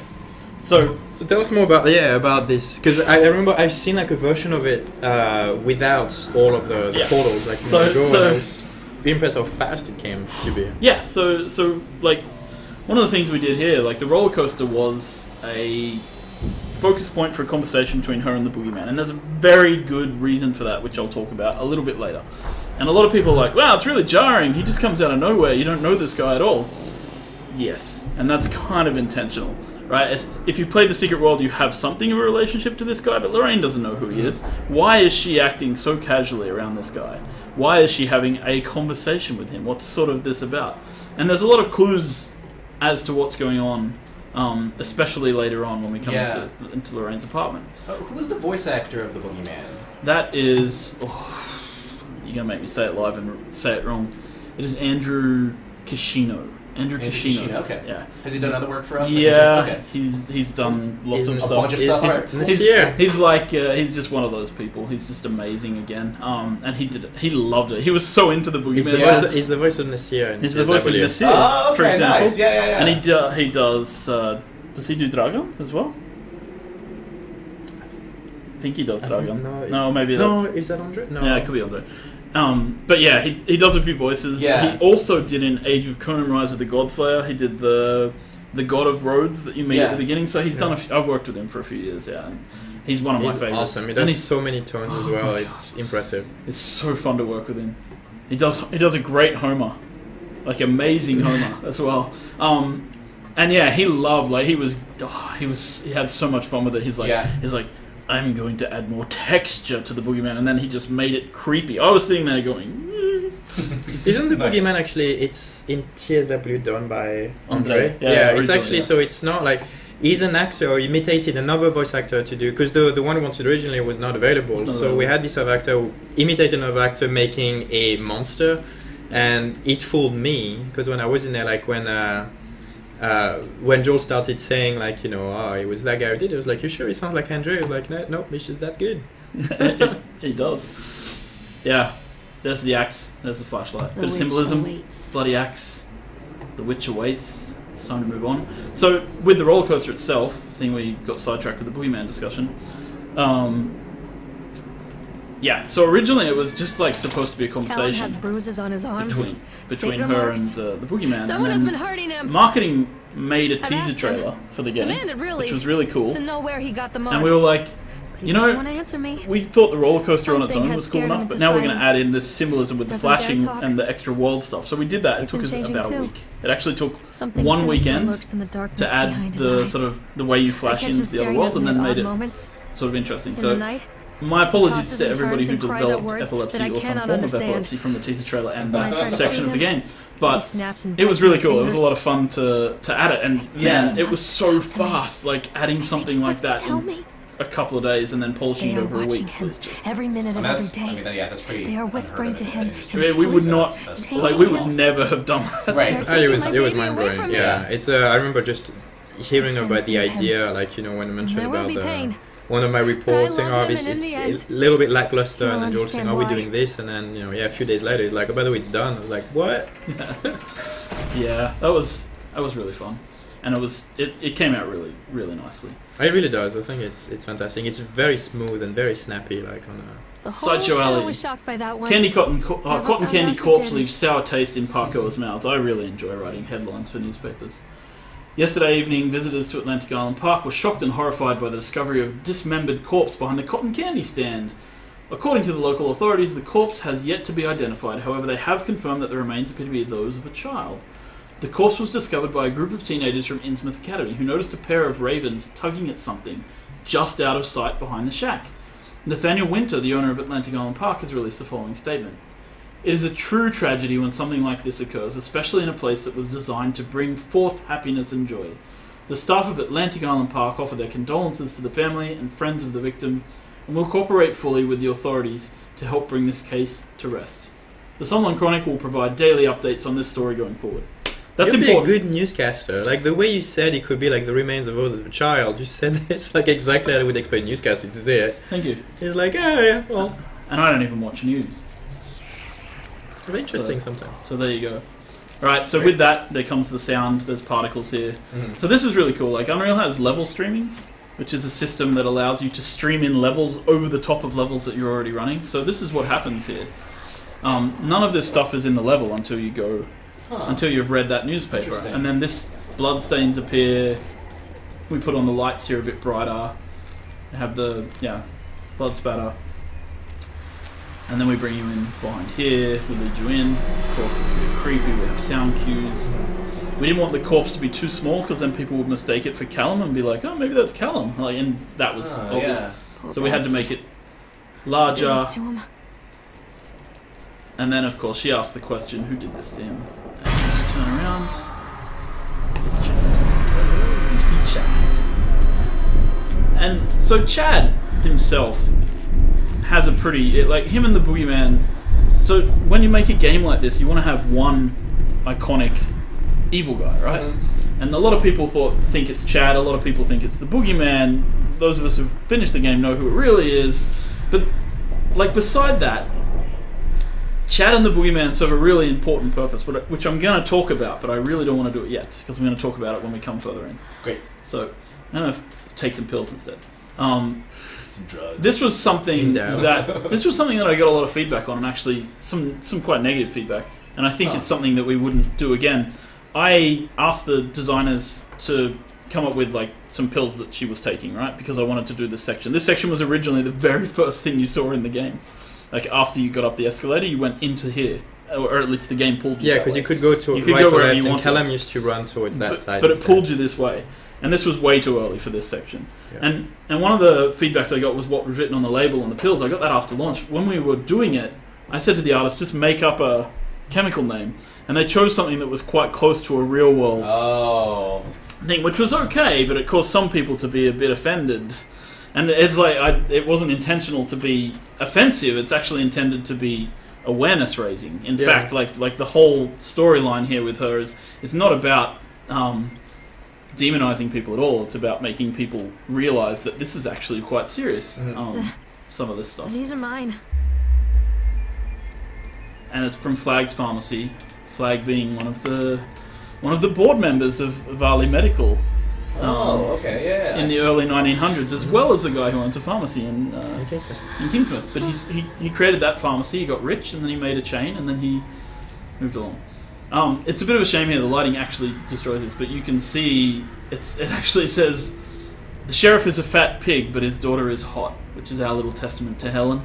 I like our daughter spells. Yeah, daughter spell. Yeah, these are intentional misspelling, so I don't feel bad. It's not about like that. Bureau. That's it's why. not That's why I Bureau. asked. Is like you know sometimes. Uh, not safe the league uh, this is a shame because it says something i actually wrote like a chain of graffiti Yeah. you know how you know how you see graffiti in, in like bathrooms where someone's written something and then someone's written a comment under it and then someone else has written a comment i actually wrote a chain of graffiti and this has not come through very clearly here so you only see your mother this screen is pretty dark. Like normally you see it better on this. say no to graffiti very important some kids laugh and some kids cry but mostly children simply die I'd be freaked out if I saw if I went toilet and saw that graffiti. 1980s, this was a bit, we were being subtle. Are you better off than you were four years ago? Reagan. That was his campaign slogan in the 80s. Don't believe anything they tell you. That was originally the first line she said in the game. And it, Oh. but it was, so, it was bec- it came when the fun it said Funcom presents and then you heard her say don't believe anything they tell you. And I was like, eh, might not work. Fear the boogeyman. Stop picking your nose then. See, there it kind of works. But yeah, we did more stuff. I actually implemented the entire pill trip myself, which was fun. Um, and so over time, you get more and more stoned in the pill trip. Originally, it had a timer so that it kicked you out after a certain amount of time. Here, I was learning how to make physics objects react to players. Um, there's a lot of medical symbology here, which obviously I'm sure people will understand if they've played the game through. Different things. I actually had a lot of fun playing bowling with that uh, that pile of bears there. This is I wanted to do a matrix thing here. I was just testing it. The matrix bears. Yeah. Boom, boom, boom, boom. So yeah, it was Yeah. it was cool, and and we wanted to make this feel just a little bit off and a little bit weird, and there's there's a there's a thing here that I think people don't get, and I'll I'll explain that a little bit. Some people are like I I've taken drugs similar to what you know the people in this take, and these are the way that's portrayed is ridiculous. Like it's it's a full on pill trip, and you know the world changes. It's actually a reverse pill trip and I'm and and this is the thing that's interesting is this is parts of the real world. I'm spoiling spoiling a lot of things here. Hmm. This is parts of the real world poking into Lorraine's delusion here. So you are seeing things that are from the real world. That's why when she takes the pill, she's in a cell. That's why when she walks outside, there's there's medical objects floating around. It's hmm. not it's not that she is taking pills and having a trip. It's that she's taking pills and they're stabilizing her to a certain extent, right? And that is really important. That's an important distinction that was way too subtle, Yeah. and that's a failure on the storytelling side. On my end, that's a lesson learned, right? I was far too subtle with what, what was actually going Yeah, on. that was. That if you need the great creative movie. actor to tell you directly what's happening, it's usually because it's a little bit too subtle. But now you know. Eh, subtlety. Great. fun. And then there's this, right? And this is something that I think a lot of TSW players find interesting. The newspaper. Now, when you read it, it's Future Times by Laurel and Howdy. Belly button is the signature of your personal creator. I believe her name was Mama. Every 17th child is a magnet for sinfulness, made omniscient by broken fires in the coastal strain. We don't believe that the earth belongs to battered goats and shamrock afterbirth. Only the truly naked wrens of righteous indignation are severed by war-crossed cleavages in trust exercise at arrhythmias. Arrhythmia. Beaumont will come to the island, bearing the talisman, and he will shatter the seals that bind the orthodoxy of corruption. Only then will priests shoot, sluts reveal, housewives pontificate, and delayed messiahs make axles for the rescue of Tango and Cash. Sweet the temptress who grips the shaft, twists the shaft, absconding with third age something? Third age, I can't even read it. I can't even read it either. Absconding with third age something into fourth age darkness, while gods lie writhing on the shattered face of the earth. Gaia has sweetness and grace, but her days are numbered, and heavy fisted hives break before frozen wills and calligraphic actresses in pencil and paper pornography. The all seeing eye will provide decade long updates on this story going forward. I'm not going to explain all of that, because obviously, but there's a the paragraph in the middle is the events that occur on, mm-hmm. on Solomon Island, or the, the two paragraphs in the middle. The rest of it, a lot of people are going to have to figure out. The very first line, though, it comes from the the the classic, completely insane website, which is four. Oh come on, the four cubed, the cube. Uh, You, you guys don't know I'm the crazy website? it, oh my sorry, god, I can't remember it. I, I, I share another one you're talking about. You know the one I'm talking The, about? It's, um, it's an entire website, written- like written in crazy Yeah, yeah, caps, yeah, yeah. and it's like an amazing thing. Time Cube, the Time Cube Time website. Cube, that's right. Okay, yeah, I think I the, the very first yeah. line is from that. So for people who are speculating about what significance that line has, it really just has Oh, wow, me right. throwing in a reference to one of my favorite conspiracy websites. Didn't even re- recognize It's it. great writing material, and uh, yeah, so that was really fun. Um, I really enjoyed putting that together, so that was cool. And yeah, there's a lot of hints there for players who, who know how to look and where to look for them. Um, so we're gonna keep moving along. Yeah, I love. But it is something like you know we talk about like going back as well to like you know uh, design lessons. It's something which is so difficult to do in video games. Is whenever you touch at um, a subject that um, that a minority will be experts. Uh, Oh, yeah, about. and- like you know it, it's it's very common. Like you know when we do games, we try to we try to talk about any subject that we can. Try to make cool story about it, and trying to be uh, respectful of the stories that we t- that we talked about. But it's very very common that the people actually really know about this subject, you know, for whom it's it might be the daily life. Um, their first reaction is to be very defensive and you know potentially get offended, and it, it's it's really not. I won't say our intention, but I won't say our intention almost as game designers. You know, we tend to try and we do our research. You know, sometimes we even know those effects firsthand, but uh, whatever you're talking about, like everybody has a different reaction to it, and it's it's either you stay away from it completely or you try to you know to to either Yeah, and, and I raise mean, awareness or I mean, on, on the other side so of it, I've had to do. feedback from a lot of people who've been through what Lorraine's been through. Mhm. Not obviously to the yeah, extent and it goes Lorraine's both ways. Really and, and I've gotten feedback from people who really enjoyed it. And one of the developers on the team experienced all of this as well. It's Mhm. not, it's not like it, we're not being impersonal, and we're certainly not trying to do this for entertainment purposes. And actually, or sorry, not cheap entertainment purposes. For me, it's about raising awareness. Something that my my um that would like, for example, have made marketing happier was if this was just a jump scare horror game like without any deeper thought behind it because it would it would probably sell better because year in car journalists don't think too hard about games that like if you sell a game as like this is a blood and gore jump scare game. They don't then look for any deeper meaning but joy. because we tried to You add a layer scares, In yeah. the sideshow alley, you I can love walk this away with cinema- 15 this- cents this worth of commentary as well. mass-produced Oh my God. Chinese teddy going bears, to the while a funhouse next, grinning yeah? pony Yeah, alright, great. pockets your hard-earned five on dollars. our way What secrets close lie to the beneath end. the sullen waters So of as the we lake? approach the, the Tears gaping of maw of jilted madness, I was lovers, thinking the maybe time soiled for a little condoms of raffle. illicit raffle? affairs. Yes. We might as well do the Sounds raffle, good. The like, blood well, of uh, the lonely suicide. Let's Sounds start it. good. Face of the witch. Will So, over it all. We're going to be giving away one more copy of The Park. grin and Um, go ahead and type excla- uh, exclamation point raffle in. Twitch chat, and we'll get I that going think for Callum you. is waiting for me. Inside. there's absolutely a ton of secrets by the way that I haven't looked at like you know It really is. I mean, there was yeah, the, there was boogie, some the things happening at the standing top. on the roof of the witch's mouth when you first enter and all that sort of stuff watching you and like- why it is. It, it's again. It goes back into like you know people talking about the game not really having a replayability. It's like sure there's the the plain story that is obvious from fairly early on in the game, but then you have everything everything around the park, like everything what you know about the, the, the history of the parks, like and and of the other characters and everything. Like, it's really worth discovering and making sure you you find all of those media pop-ups who tell like really a, a, a If, if it Two interests you, I mean, I, stories. I mean, for me, it was like one playthrough is fine if people want to play through it Hmm. once. It's not. It wasn't never designed to be a super replayable game, like that's for sure. But I, uh, I there is there's a lot stuff of there to look details. for. That's yeah. Why What I was trying to say with just there's a lot of details into it And- that really. and I realized I hadn't shouted for a while, so Lorraine's was tone of voice. I mean, she's starting to just unravel as you enter the House of Horrors. I mean, and you really hear it in her voice. She's not consistent at all. A lot of stuff she says just doesn't make sense. Um, done. Atlantic Island Park has closed its gate. A jeering throng of townsfolk gathered as we hung the heavy iron padlock on the gates. Small minded fools, scared of what they don't understand. My machines lie silent and dejected, but I am not beaten. I have sent my wife and son back to Boston, and I have retreated here to the House of Horrors. I must think. Winter's story continues, even as Lorraine's story heats up. So, um, the House of Horrors. This section was where we were linear. And this Mhm. is where we really, really are able to ratchet things up super tight. Like the, the park outside is more open spaces.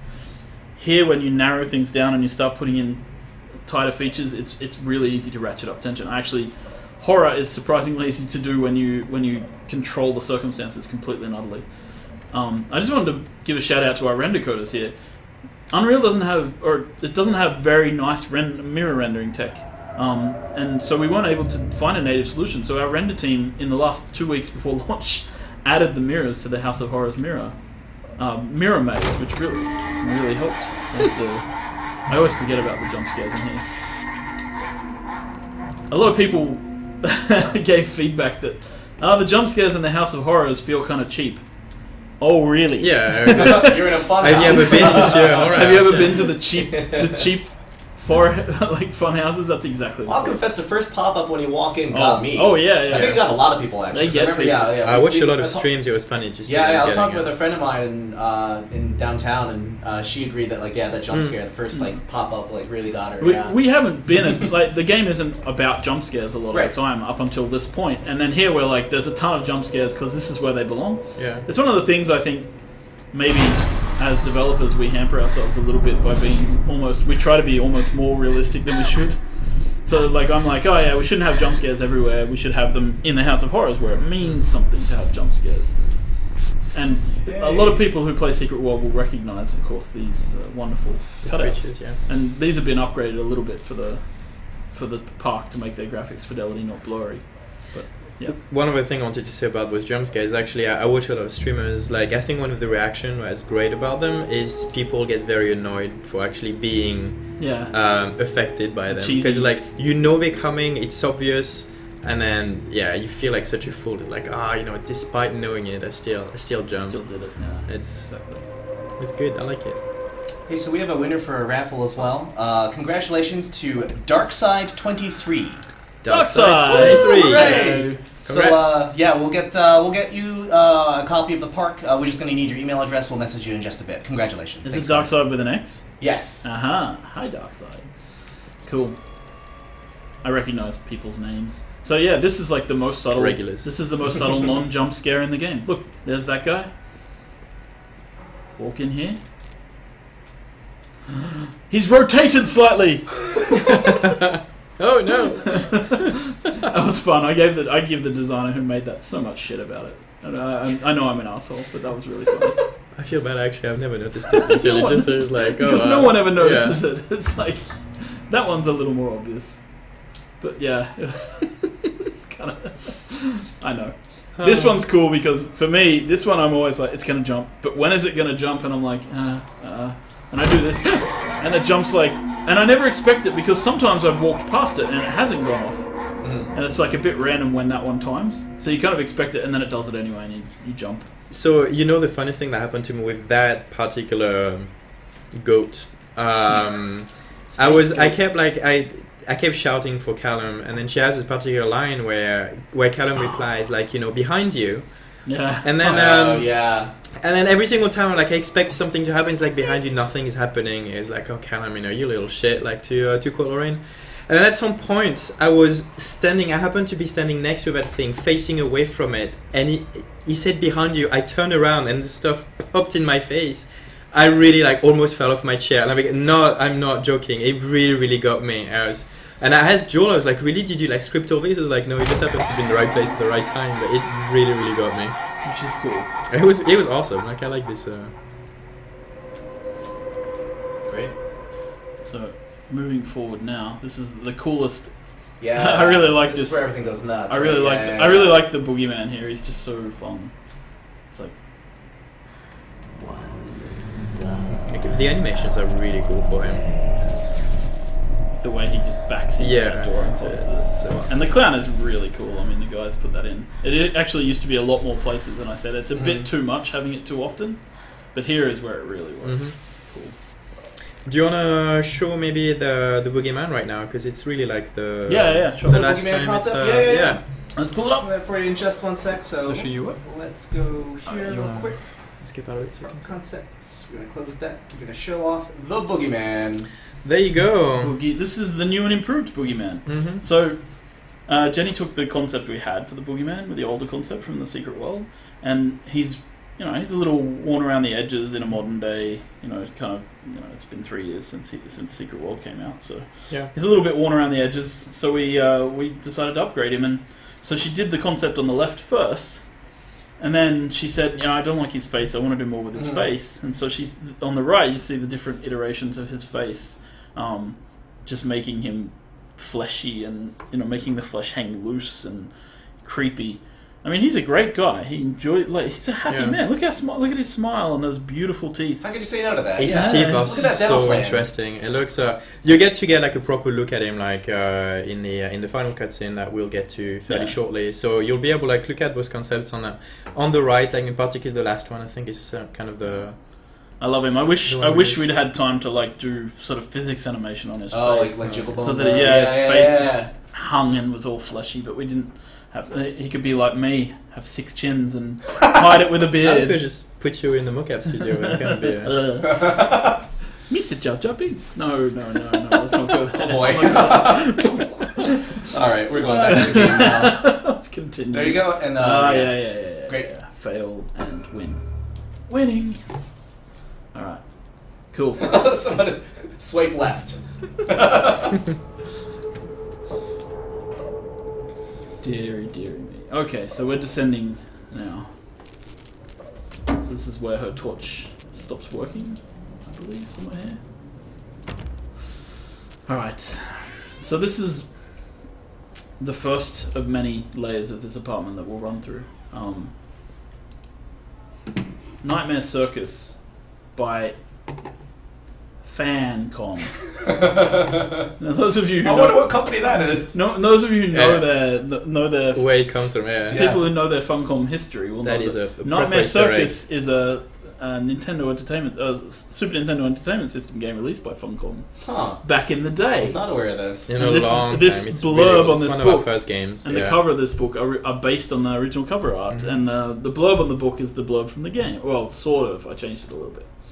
A circus burns to the ground on opening night, killing dozens. The owner is put to death by an enraged mob of townsfolk just as he shouts out a curse. Now Raven, a dark-souled wanderer, comes to the ruins at dusk in search of his missing mother. Let the show begin. Now, Nightmare Circus has a very interesting reputation because I believe it only ever got released in South America, and anybody who wanted to play it in the West had to get a importer version. Yeah, yeah. And then th- it has a reputation that it's unbeatable After as they let well. me out, they gave me Callum huh. back and sent me home with a handful of And there's breadcrumbs. Mr. Bear. That's some fun trivia. Home bittersweet I also home. like the uh, reference to the, uh, the one of the I or- uh, origin recognized it. Yeah, uh, yeah. logo Where there had been here, yeah. color and light, there were shadows and regrets. Where there had been warmth, there was a bone deep coldness that never went away. I tried my hardest to keep the ghosts at bay. Lorraine's life is not going well. Don, watching from the dusty corners while I tried to teach his son to read. Yeah, some uh, some people on Twitch chat actually bring up a really interesting point too, because me and finding um, me like there's so many like this is where I noticed a ton of myself to references like the Secret the World, right? Like you see they tons of books from like Sam Krieg, for get better, example. they said every right? day will be a There were. There were okay, I'm sorry. But I'm, yeah, speaking, I'm so- misspeaking right now. Then no, no, you probably played an earlier version, right? I must You have then, yeah, you yeah, played before launch. Um, the artist threw in a bunch of Sam Krieg books that we had in Secret World, Uh-huh. and I played the game, played the game, sorry, and didn't think about it. yeah, And then, like, I was like, wait a minute, we have all the publication dates for the Sam Krieg books. And then I went and checked, and I was like, no, no, no, no, no, they can't be in here. It's out of the time frame. Uh, it's it's, oh, I it's see. after this happened. So then we had to. time re- paradox. Yeah, so then I- okay, then I was like, Uh, damn it, we have to fix all the books. Apologies then. No, okay. no, you're you're right though. Like there was all of the Sam Krieg books were in here as like books with blurbs on the back. Yeah. And and they progressed in the same way that the books do. So you were 100% right, but that was a version that we didn't Okay. launch to the public because I realized that lore My failed. mistake. Sorry about Yeah. that. No, no. Cool. It's cool trivia. Rubik's Cube. There's a guy, this is a, interesting, there's a guy at work who's obsessed with Rubik's Cubes in, Yeah. in Oslo. And he plays, he has a Rubik's Cube on his desk and he can solve it in less than a minute. Like from any configuration. He can do the algorithms and solve it. And so I thought, yeah, this would be cool. Let's let's put a Rubik's Cube in and, and make a puzzle, or not a puzzle around it, but make a message hidden in it. So we did that. and Scriv goes, maybe we should write these books. Oh yeah. Scriv, let's do it, baby. Bam. I've already written a. a, a So in case you're new in this channel, Scriv, Screenomancer is the, um, the lead writer of The Secret World. And, yes. And you, one of the regular members of the streaming ones are Friday streams, but uh, we have a special edition here today. Oh, this is fun. I wrote this one. This is amazing. Like the way it escalates is awesome. Miss Maylard, as we agreed in our meeting today, we consider you fully recovered from your illness. This letter is to is official notification that you are considered sound of mind and body and may return to work at any time. Please note that you should discontinue any medication that you've been using and dispose of any remaining medicines. If you feel at any time that you are suffering a relapse, please make contact with your local physician immediately. We wish you continued good health. Dr. Spencer, Dunwich Medical. Dunwich Emergency Service, yes. Dunwich being the town that's just across the from Solomon on the mainland, right? This is a letter uh, from Lorraine's mother.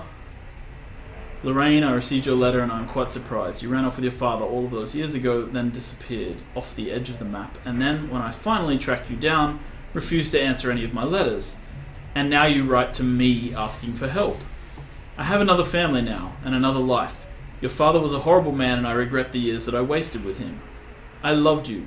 I truly did. But every year you grew more and more like him. You were his girl, never really mine. Still, I would have fought for you for custody if you hadn't run away with him. It broke my heart, but I needed to go on living. I can't let you back into my life without picking open old wounds. I'm sorry, Lorraine, but I just can't do it. Maybe one day it will be easier, and I can meet Callum, but not yet. I am not ready to forgive you. Please don't contact me again. Karen. So, Lorraine's obviously reached out to her mother. There's more to the story, though, and we'll find out more of that as we, we go a little deeper. oh, this is such a hard one to, uh, Miss, to. Miss Maylard, our inquiry into the estate of Mr. Donald Williams has been completed. We regret to inform you that the primary beneficiaries of his estate, including the life insurance settlement for accidental death, were listed as Rose Williams and Richard Williams of New York State, the deceased parents. Our agency made contact with Mr. and Mrs. Williams and explained your situation, especially as regards the birth of Donald's son, Callum. Unfortunately, they were not receptive to our overtures, and they specified that without any legal proof of, biolog- of a biological relationship, they consider you ineligible to receive any of the monies from Donald's estate. They've asked that we no longer contact them regarding this matter. I understand that this may have a negative impact on your current financial situation, and I hope that I am not being too forward when I enclose the bill for our services with this letter. Sincerely, Edward Stapleton. Yay. This is not the letter you want to receive ever. Nope. No. Edward Stapleton is also a lawyer in an Edgar Allan Poe story. Um, just in case anyone knows wants to know where we get names. And uh, yeah, there you go. It's tough, man. She has things aren't going well. No. I, I really. Yeah, it, it's actually I feel like a dick when I watch people stream this, and and there's so many people who have like hundred percent empathy. And that, like, they feel for Lorraine, and I'm, like, I made her up, but I know it's horrible. I put her in a horrible situation. She does not leave it. But I think it's what makes her such an interesting character, though. Yeah, it's yeah, like it's and- you don't get there are- many games who have those characters, even movies. Like it's kind of um. There are people She's- who are in tough situations, Yeah. man. I, like my like my wife is a child psychologist, right? She works with this stuff. She works with the parents. She works with people, and I, you know, I obviously, you know, I can't. She can't talk to me about a lot of this stuff, but she can give me general Yeah. things, and like it's it's so tough. Well, that's a lot of weight on her shoulders. Yeah, too, yeah, and, she, and she's tough, and, yeah. and you know, I was talking to her all the way through this, and yeah, it was just it was tough, man. Okay, so this is some stuff that people need to think about, right? And something that I haven't seen our lore people, who usually are 100% on top of things, these books progressed. The packet was a wait, wait, waitin' on a child for take, take, taken. Using joy for bait, bait, baitin', while their mother's mind is break, break, breaking. Or the mother's mind is breaking. Analgesia win. So, anyone who knows what analgesia is, um, yeah, probably has some clue as to what's going on here. Uh, but it is something I noticed. I've, I've watched a lot of people streaming this game. I think a lot of people like saw the cover of these books again and never really thought about looking at uh, the progression of the text. Like a lot of people realize it a bit a little bit too late. I mean, I think it's something interesting for us to take as well as designers. Another- into like you know, it's feedback. in a way it's a little bit of a eye failure that people did not see that progression. There was something interesting. It's just like, oh, I've seen this item already. I've seen this item already. I'm not going to click it. And it's uh, should've it's a gone- shame because we should have uh, gone all poltergeist and had the books fire at you as you crossed the room. Yeah, I think even like you know turning them over, so like Yeah. the first thing you see is the back. I think may have helped into. We see a little bit of that later on. So right? yeah, it's Some crazy yeah, some of them yeah, are a lot more obvious later on, but I think people, you know, they don't necessarily realize it's like, oh, you missed out like in- Yeah, in, yeah. the first few iteration of the house who wasn't completely messed up This yet. is this is a letter from Dawn, her partner. Lorraine, things aren't right between us at the moment. I know I want to try and explain it. I think it is because I am so far from home and I'm working so hard. Every day working at the park gets worse, like a spring inside my mind, winding tighter and tighter and tighter. When we go for drinks after work, it gets a little better. The guys relax, and we laugh, and we're we're good people again. I don't want to come home to you without being in my right mind. But when this job is done, we need to get out of this place. We need to go back to the city, where I don't feel like this anymore. I love you, Donald. P.S. I was thinking about names for boys and girls. I like Callum for a boy, and Emma if it is a girl. And I'm saying nothing. Nothing. Hunger. The story of Holodomor. Oh, did I skip that book earlier? I must have. Hmm. The first book is the story of the Donner Party. Yeah, so this is highlighting again the themes of Hansel and Gretel a little bit, the hunger thing. I think it. I don't want to go too, too deeply into it, but there's a, a definite hunger relationship, Mhm. especially when it comes to love between mother and child and things like that. The wilting. Um, yeah. So as this, as we you go through, Lorraine starts coming through more. There's a message here from from certain entities. QBL Publishing publish all the books, by the way. People don't remember QBL.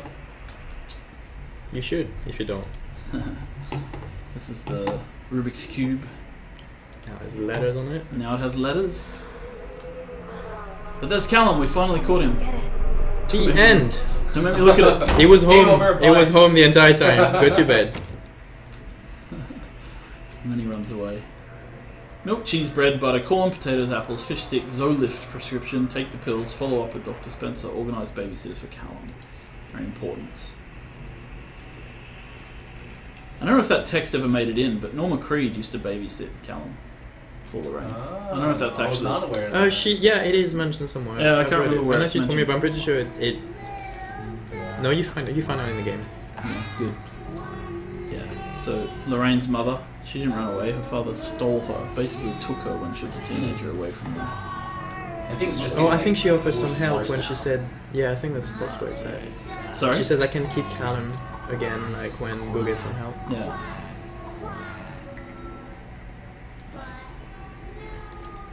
Yeah, that's just that So one. this is all very interesting too, because I kind of on the note of like the, the, the version that I had played, or like oh, you can go ahead if, you- if you want to read that. Oh, this is just like the Dunwich Emergency Services. yeah, They had a, a letter about her suffering from depression. That was why she was checked in after birth. yeah.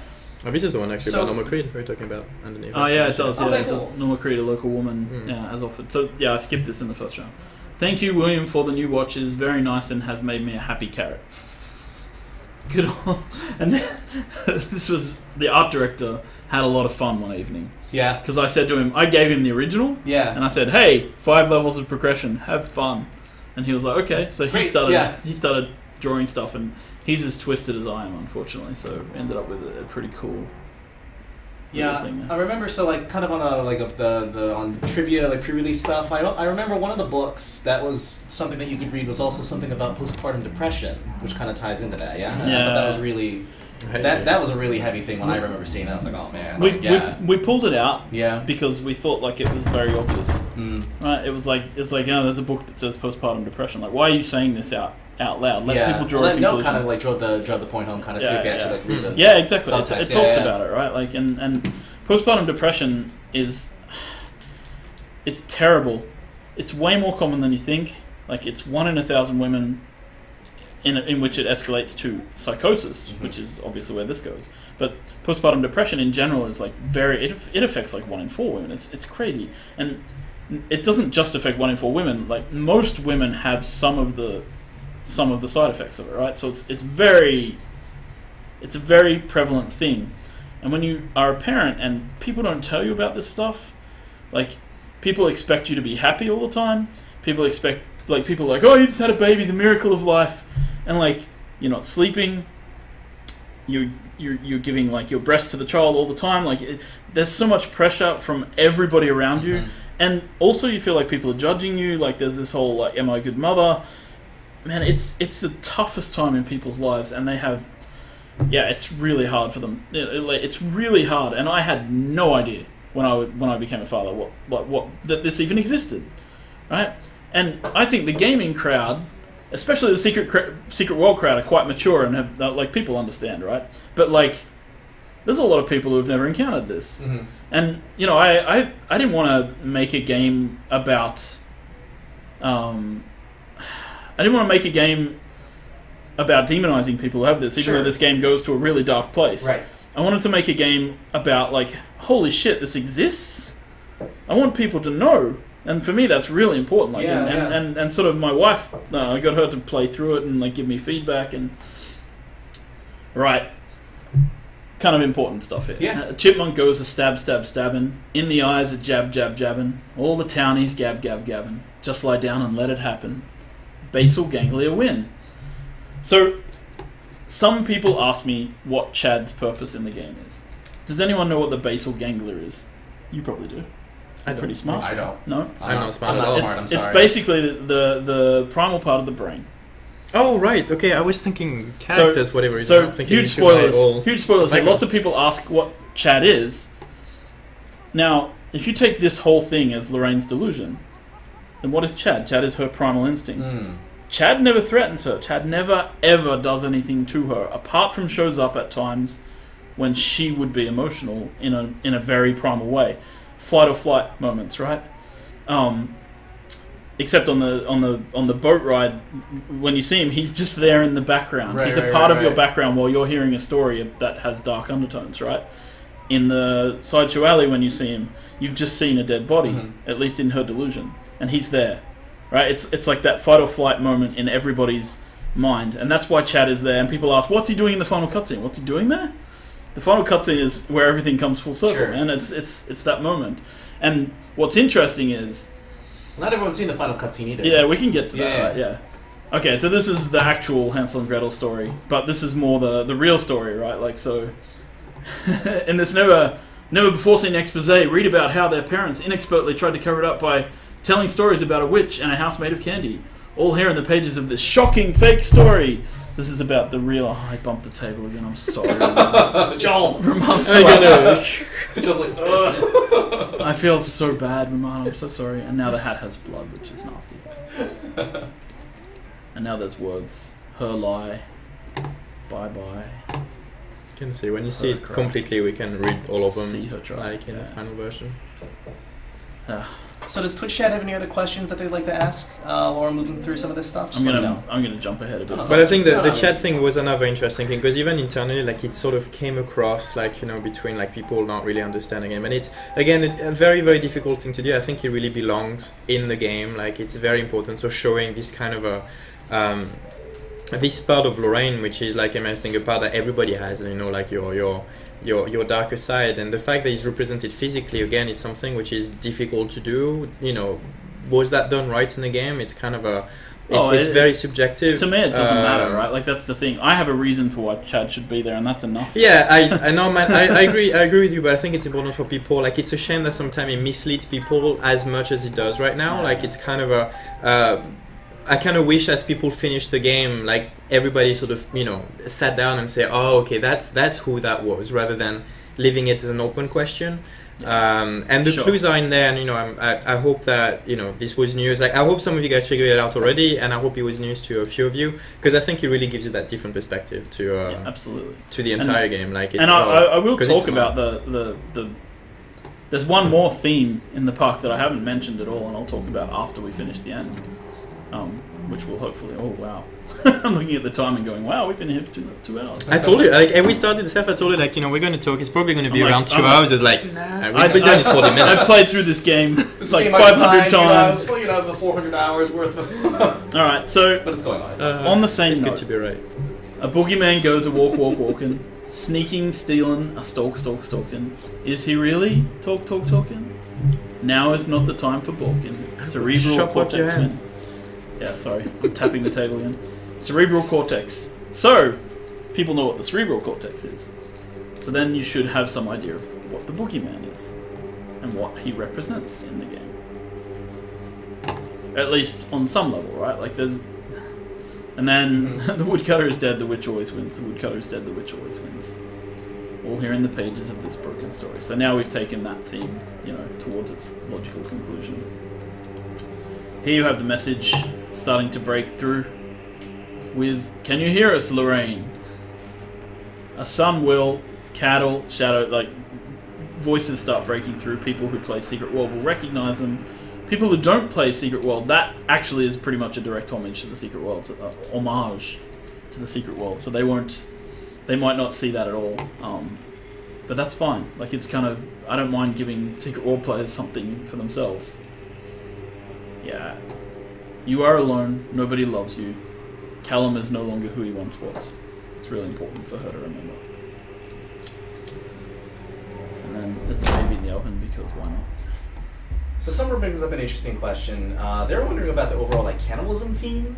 Uh, if that's something you can comment on, if there was supposed to be a lot of focus on it, and if there's supposed to be, or if that theme was supposed to be taken literally, Not literally. not literally. Yeah, that was so interesting because actually something Mm. that never came across. I was watching uh, some streamers, actually some some fairly uh, uh, well-known streamers playing this game, and he came on very early on, like straight from the the the, the Swan. Um, boat sections like they joked about it saying oh you know she probably ate Callum but then there were so many clues in the game that reinforced them into this idea that you know when they saw the baby into the oven, it was like, oh well, she definitely ate Callum, and they were like, you know, what games are we playing? Like it's about a mother eating a child, and I was like, it's it's. I, I kept seeing them reinforce this idea with all these little clues that you know were misinterpreted, but it was so good. It's uh, it's funny. Like it's. I wish we caught it earlier. But it, uh, it it adds a layer to the game. It makes it a lot darker than uh, than it could have been. I mean, the, the cannibalism thing is. This is one of my favorite. Uh, Yeah. Yeah, yeah. So this this was fun to write too, I have to say. It's horrible. Miss Maylard, as we agreed in our meeting today, we consider you to be batshit fucking insane. Let's be clear, you are in no way sound of mind and body, and you are a danger to everybody around you. Please Stop note, tapping. please note that your only escape from this should be drugs. A shitload of them, smoking, snorting, oral, intravenous, take them any way you can and as often as you can. That shit can only make your life better. In case there was any doubt, you are suffering a relapse, and nobody really cares. Nobody can help you now. Don't fuck this up, Dr. Spock, Dunwich Medical. Now, two things there. Who do you think of when you think of Dr. Spock? Uh. The Star Trek guy, right? Oh, right, right. Well, yeah. But there's a there's a series of books called Doctor Spock's Children children books, and they're about child health, and they're written by a guy called Doctor Spock, and they were hugely famous in the seventies Oh. as guides for parents about children. He's a smart man. He does So, his research. so it's not just that Doctor Spock, but uh, hey, it's a good reference because it ki- Yeah. picks it picks up the sixty year olds, the forty year olds, the thirty year olds, Yeah. and you know the teenagers we don't care about. No, I'm joking. Have We you seen the new? This is the new, uh, the new Star Trek movies. Yeah, they've, those they've seen the new Star Trek. They, they're like, oh yeah, Doctor Spock. Everyone. That's the guy from Heroes. Yeah. Yeah. Someone in chat is commenting that they uh, they really commend you on uh, how accurate that last uh, letter was to how real life is. um, uh, uh, we, we, of course, we don't mean to you know make light of any hardships that you had, but uh, Well, No, Yeah, it really it's isn't, pretty- but it's it's, pretty messed up, yeah. it's, it I think accurate. everybody went through these things. Sometimes how you feel, and it's Oh. interesting to see it. Like you know, this is how You you, know- you would see it written. It's yeah, it's it's like I, I think the the thing that yeah, it's like ugh, life's tough, man. It's not easy. Yeah. It's no game. Like it's yeah. I, I mean, like you gotta be happy with the things that are good in your life because I mean, there's so much bad as well. It's like it's life is a life is uncertainty. I guess that's the way I would put it. Challenge comes, and you got to be able to roll with it, learn how to deal with it. And I think we reached the final. Uh, this is the final level. the final version of the of the apartments. So So who's saying this then? And this is the interesting part, right? We've been talking about the different brain states. Lorraine, Lorraine, I need you to focus on, focus on what we're discussing. Joel, I will cut your hand off. The chipmunk killer, Steve Gardner. He was locked away for what he did to the kids. Nathaniel Winter hasn't been seen in years, but he is nowhere near Atlantic Island Park. We've established this. You know this. So who's talking to her now? A Shrink? Maybe.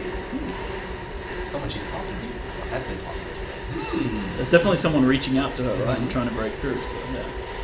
Are you talking? We actually missed out on. Oh no, that's well. Yeah, I was I was thinking about a friend. I was just passing. I think you Yeah. missed one of the pop-ups, but Oh, we missed.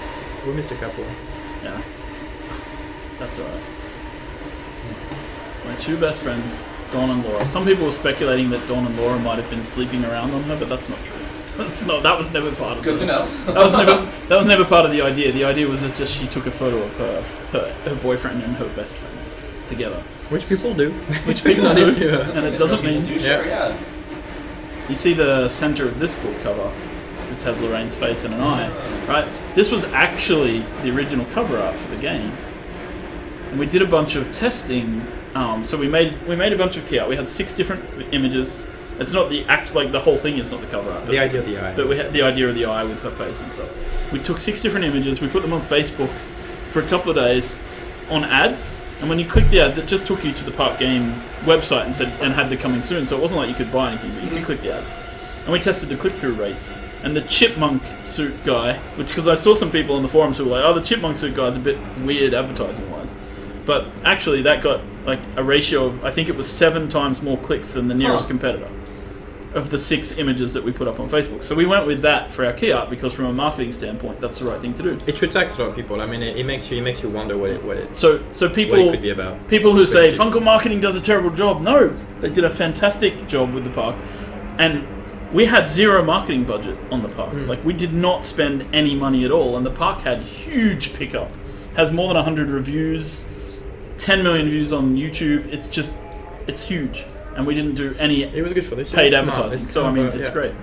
Give credit where it's due. It's definitely to the. So our marketing guys did amazing. Um, we're talking. Can you hear us, Lorraine? The killing. A son will be devoured. All the cattle will be enslaved. This shadow lies on your future, our domination. If you listen, Lorraine, you are key to damning the world. We are irrepressible. You can only join us, Lorraine. Lorraine, we are one. Anybody who's played The Secret World knows what that is. That's Josh talking to people. That's Josh. Our Rubik's Cube. See her try, see her lie, see him die, see her cry. Say bye bye. Ask her why. Right.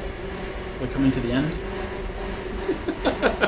Yes. Our producer is like. We're getting close to the. end.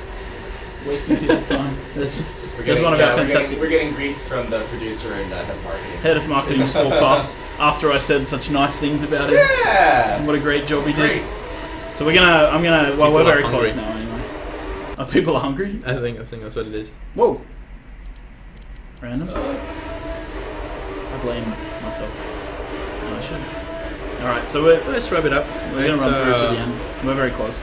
I'll talk about this section. By the way, the sound design in here, off the hook. Mm-hmm. All those guys did a good job.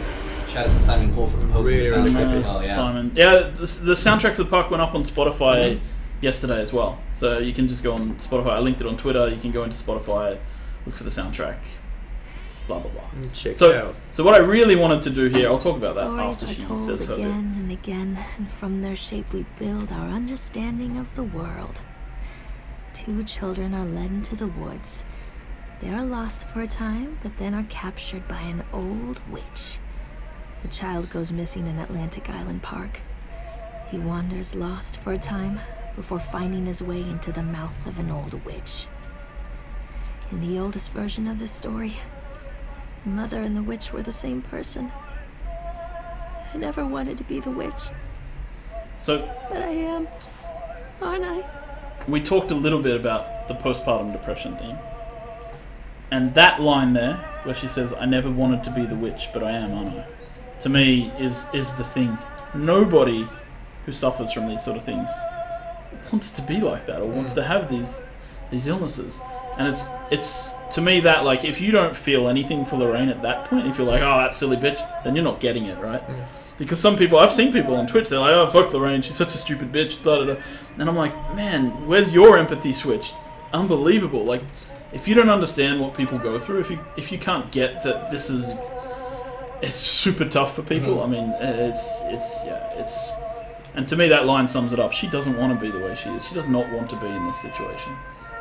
Uh, Eyes Without Sparkle is actually a book about postpartum depression, but we we didn't have the it used to say a journey through, Oh, and I removed that line because I didn't want it to sort of be really really obvious. I Sure, want people yeah, to yeah. sort of think about it a little bit.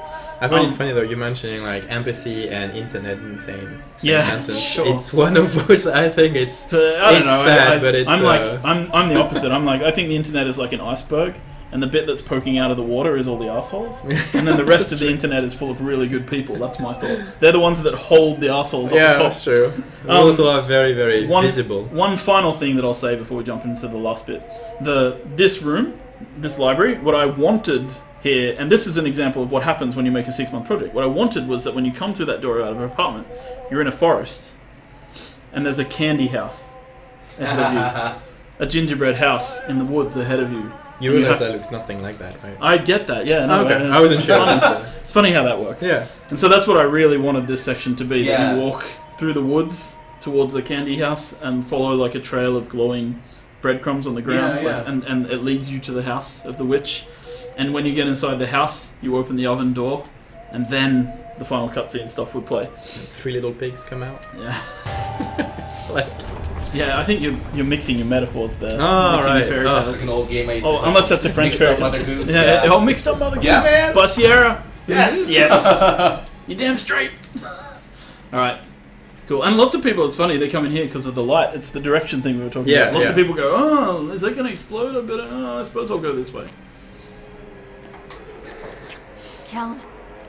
Callum! Ugh, uh, uh, Skip the bit about giggling on the slab. Callum, And you hear Callum giggling at the start of the mm. cinematic. Callum, Skip that, that pop up, but yeah. Callum! Because Scott was doing this. Hurry up, hurry up. right, so that's what we're talking about. About you know that Yeah. So, th- so this is this is the the symbolism here is, here she's is is like the right the the sort of not the right brain the the base level of her brain the the instinct is actually pushed to the background. Yeah. And here is her desires. And this is the battle she has, right? It's it's like does she really want this? Um, and this is a part of the, the cerebral cortex part, right? Because this is the part where she makes an active choice. yeah, like is it is it making her do this or Yes. was it uh Was it the was path? she willing? Yeah. And then, Uh, like I it- think it is difficult. I mean, it is powerful for sure, and it's. I understand why the opinions are so divided. mixed. On, yeah, uh, of course, of course, me too. And it should be. I mean, it's it's kind of a. But I think the story couldn't really end any other way. It's uh, you are powerless to it, but it is her story. Yeah, like, yeah, it's it's it's the the the cutscene guys who worked on that cutscene. We had to give them a day off because they were like, Oh, after they finish that, they're yeah, like, uh, uh, like yeah. oh, I mean, like Stian has to do that motion, you know, Mm. five hundred times Hey, of her Lorraine, lowering Lorraine, the pick and Mm. don't blame look at his hand. Look at his hand. Everybody, look at his hand. things all the time. Not that hand. Damn it, the other It hand. is a hand. Should see his hand somewhere. Oh, you see him on the on his shoulder. There, a little bit. Take a deep breath and think about the last place you saw your son. So this is definitely like a, a part of the of the game, which is if you've played the Secret World, you get so much more out of My this. heart and mind. If you haven't, it feels a little bit random, Island but Park. it's. Um, Hmm. Yeah. For I think it helps still selling that end. Like again, it's like you know you knew what was happening, you knew what happened, and it's just confirming this. Like it's no twist. It's just you know this this is the game, and this is what sadly some people go through. And you know we hope like to to help you feel closer to to that. It's very intentional to uh, to drive the secret world into people's minds there as well, like the with the bee thing. I, I actually wanted people who played the park to be saying, "Hey, what's that bee there?" Turn the lights on. Yeah, sure. When I switch to full screen. Yeah, yeah. I'll, uh... So yeah, it was. That's the park. Yeah.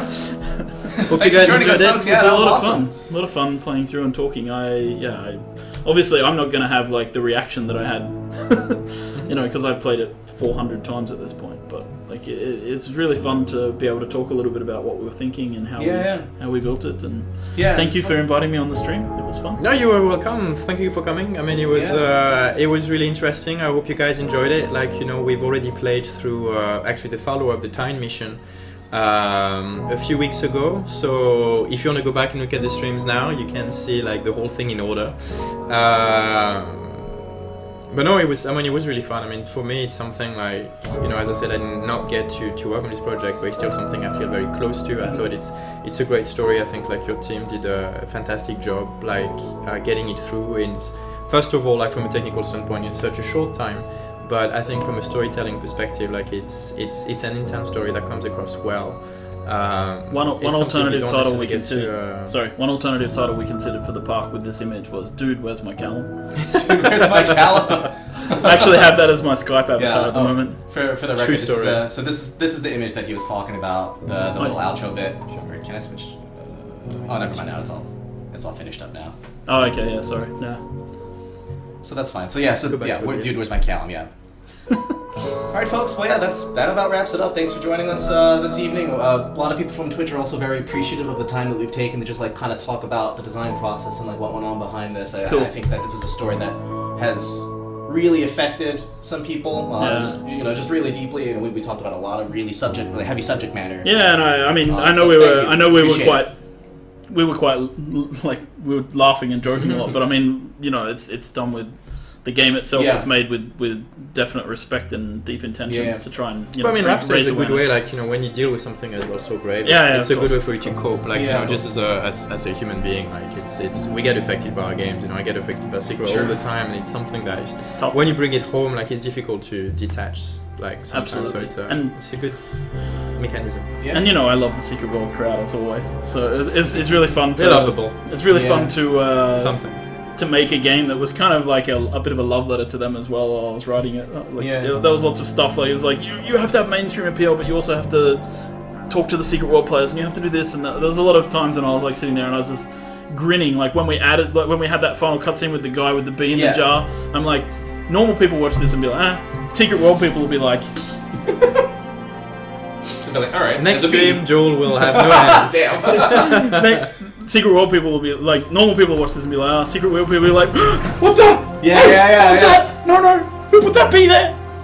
I hoped anyway. I hope someone did that because otherwise I feel kind of lame because I was really excited about that. People have Yeah, noticed. no, it yeah, was for awesome. sure, for sure. cool. Well, we Alright, hope you guys uh, you guys enjoyed all of this. Uh, stay tuned. Much love. like you know, if you enjoy those stories, like you know, we have a lot more. Um, a lot more ideas, so we hope to do more things like this. Like we hope you guys enjoy this, uh, and then we'll see you uh, on the fourth of December, if I remember correctly, for the next uh, streaming ones normal episode uh, where we're going to talk about issue thirteen. So stay tuned, folks. Yeah. Issue 13. Yes, sir. All right. Thanks for Until joining then, us, guys. have a good night. Ciao, ciao. See ya. Cool. Great.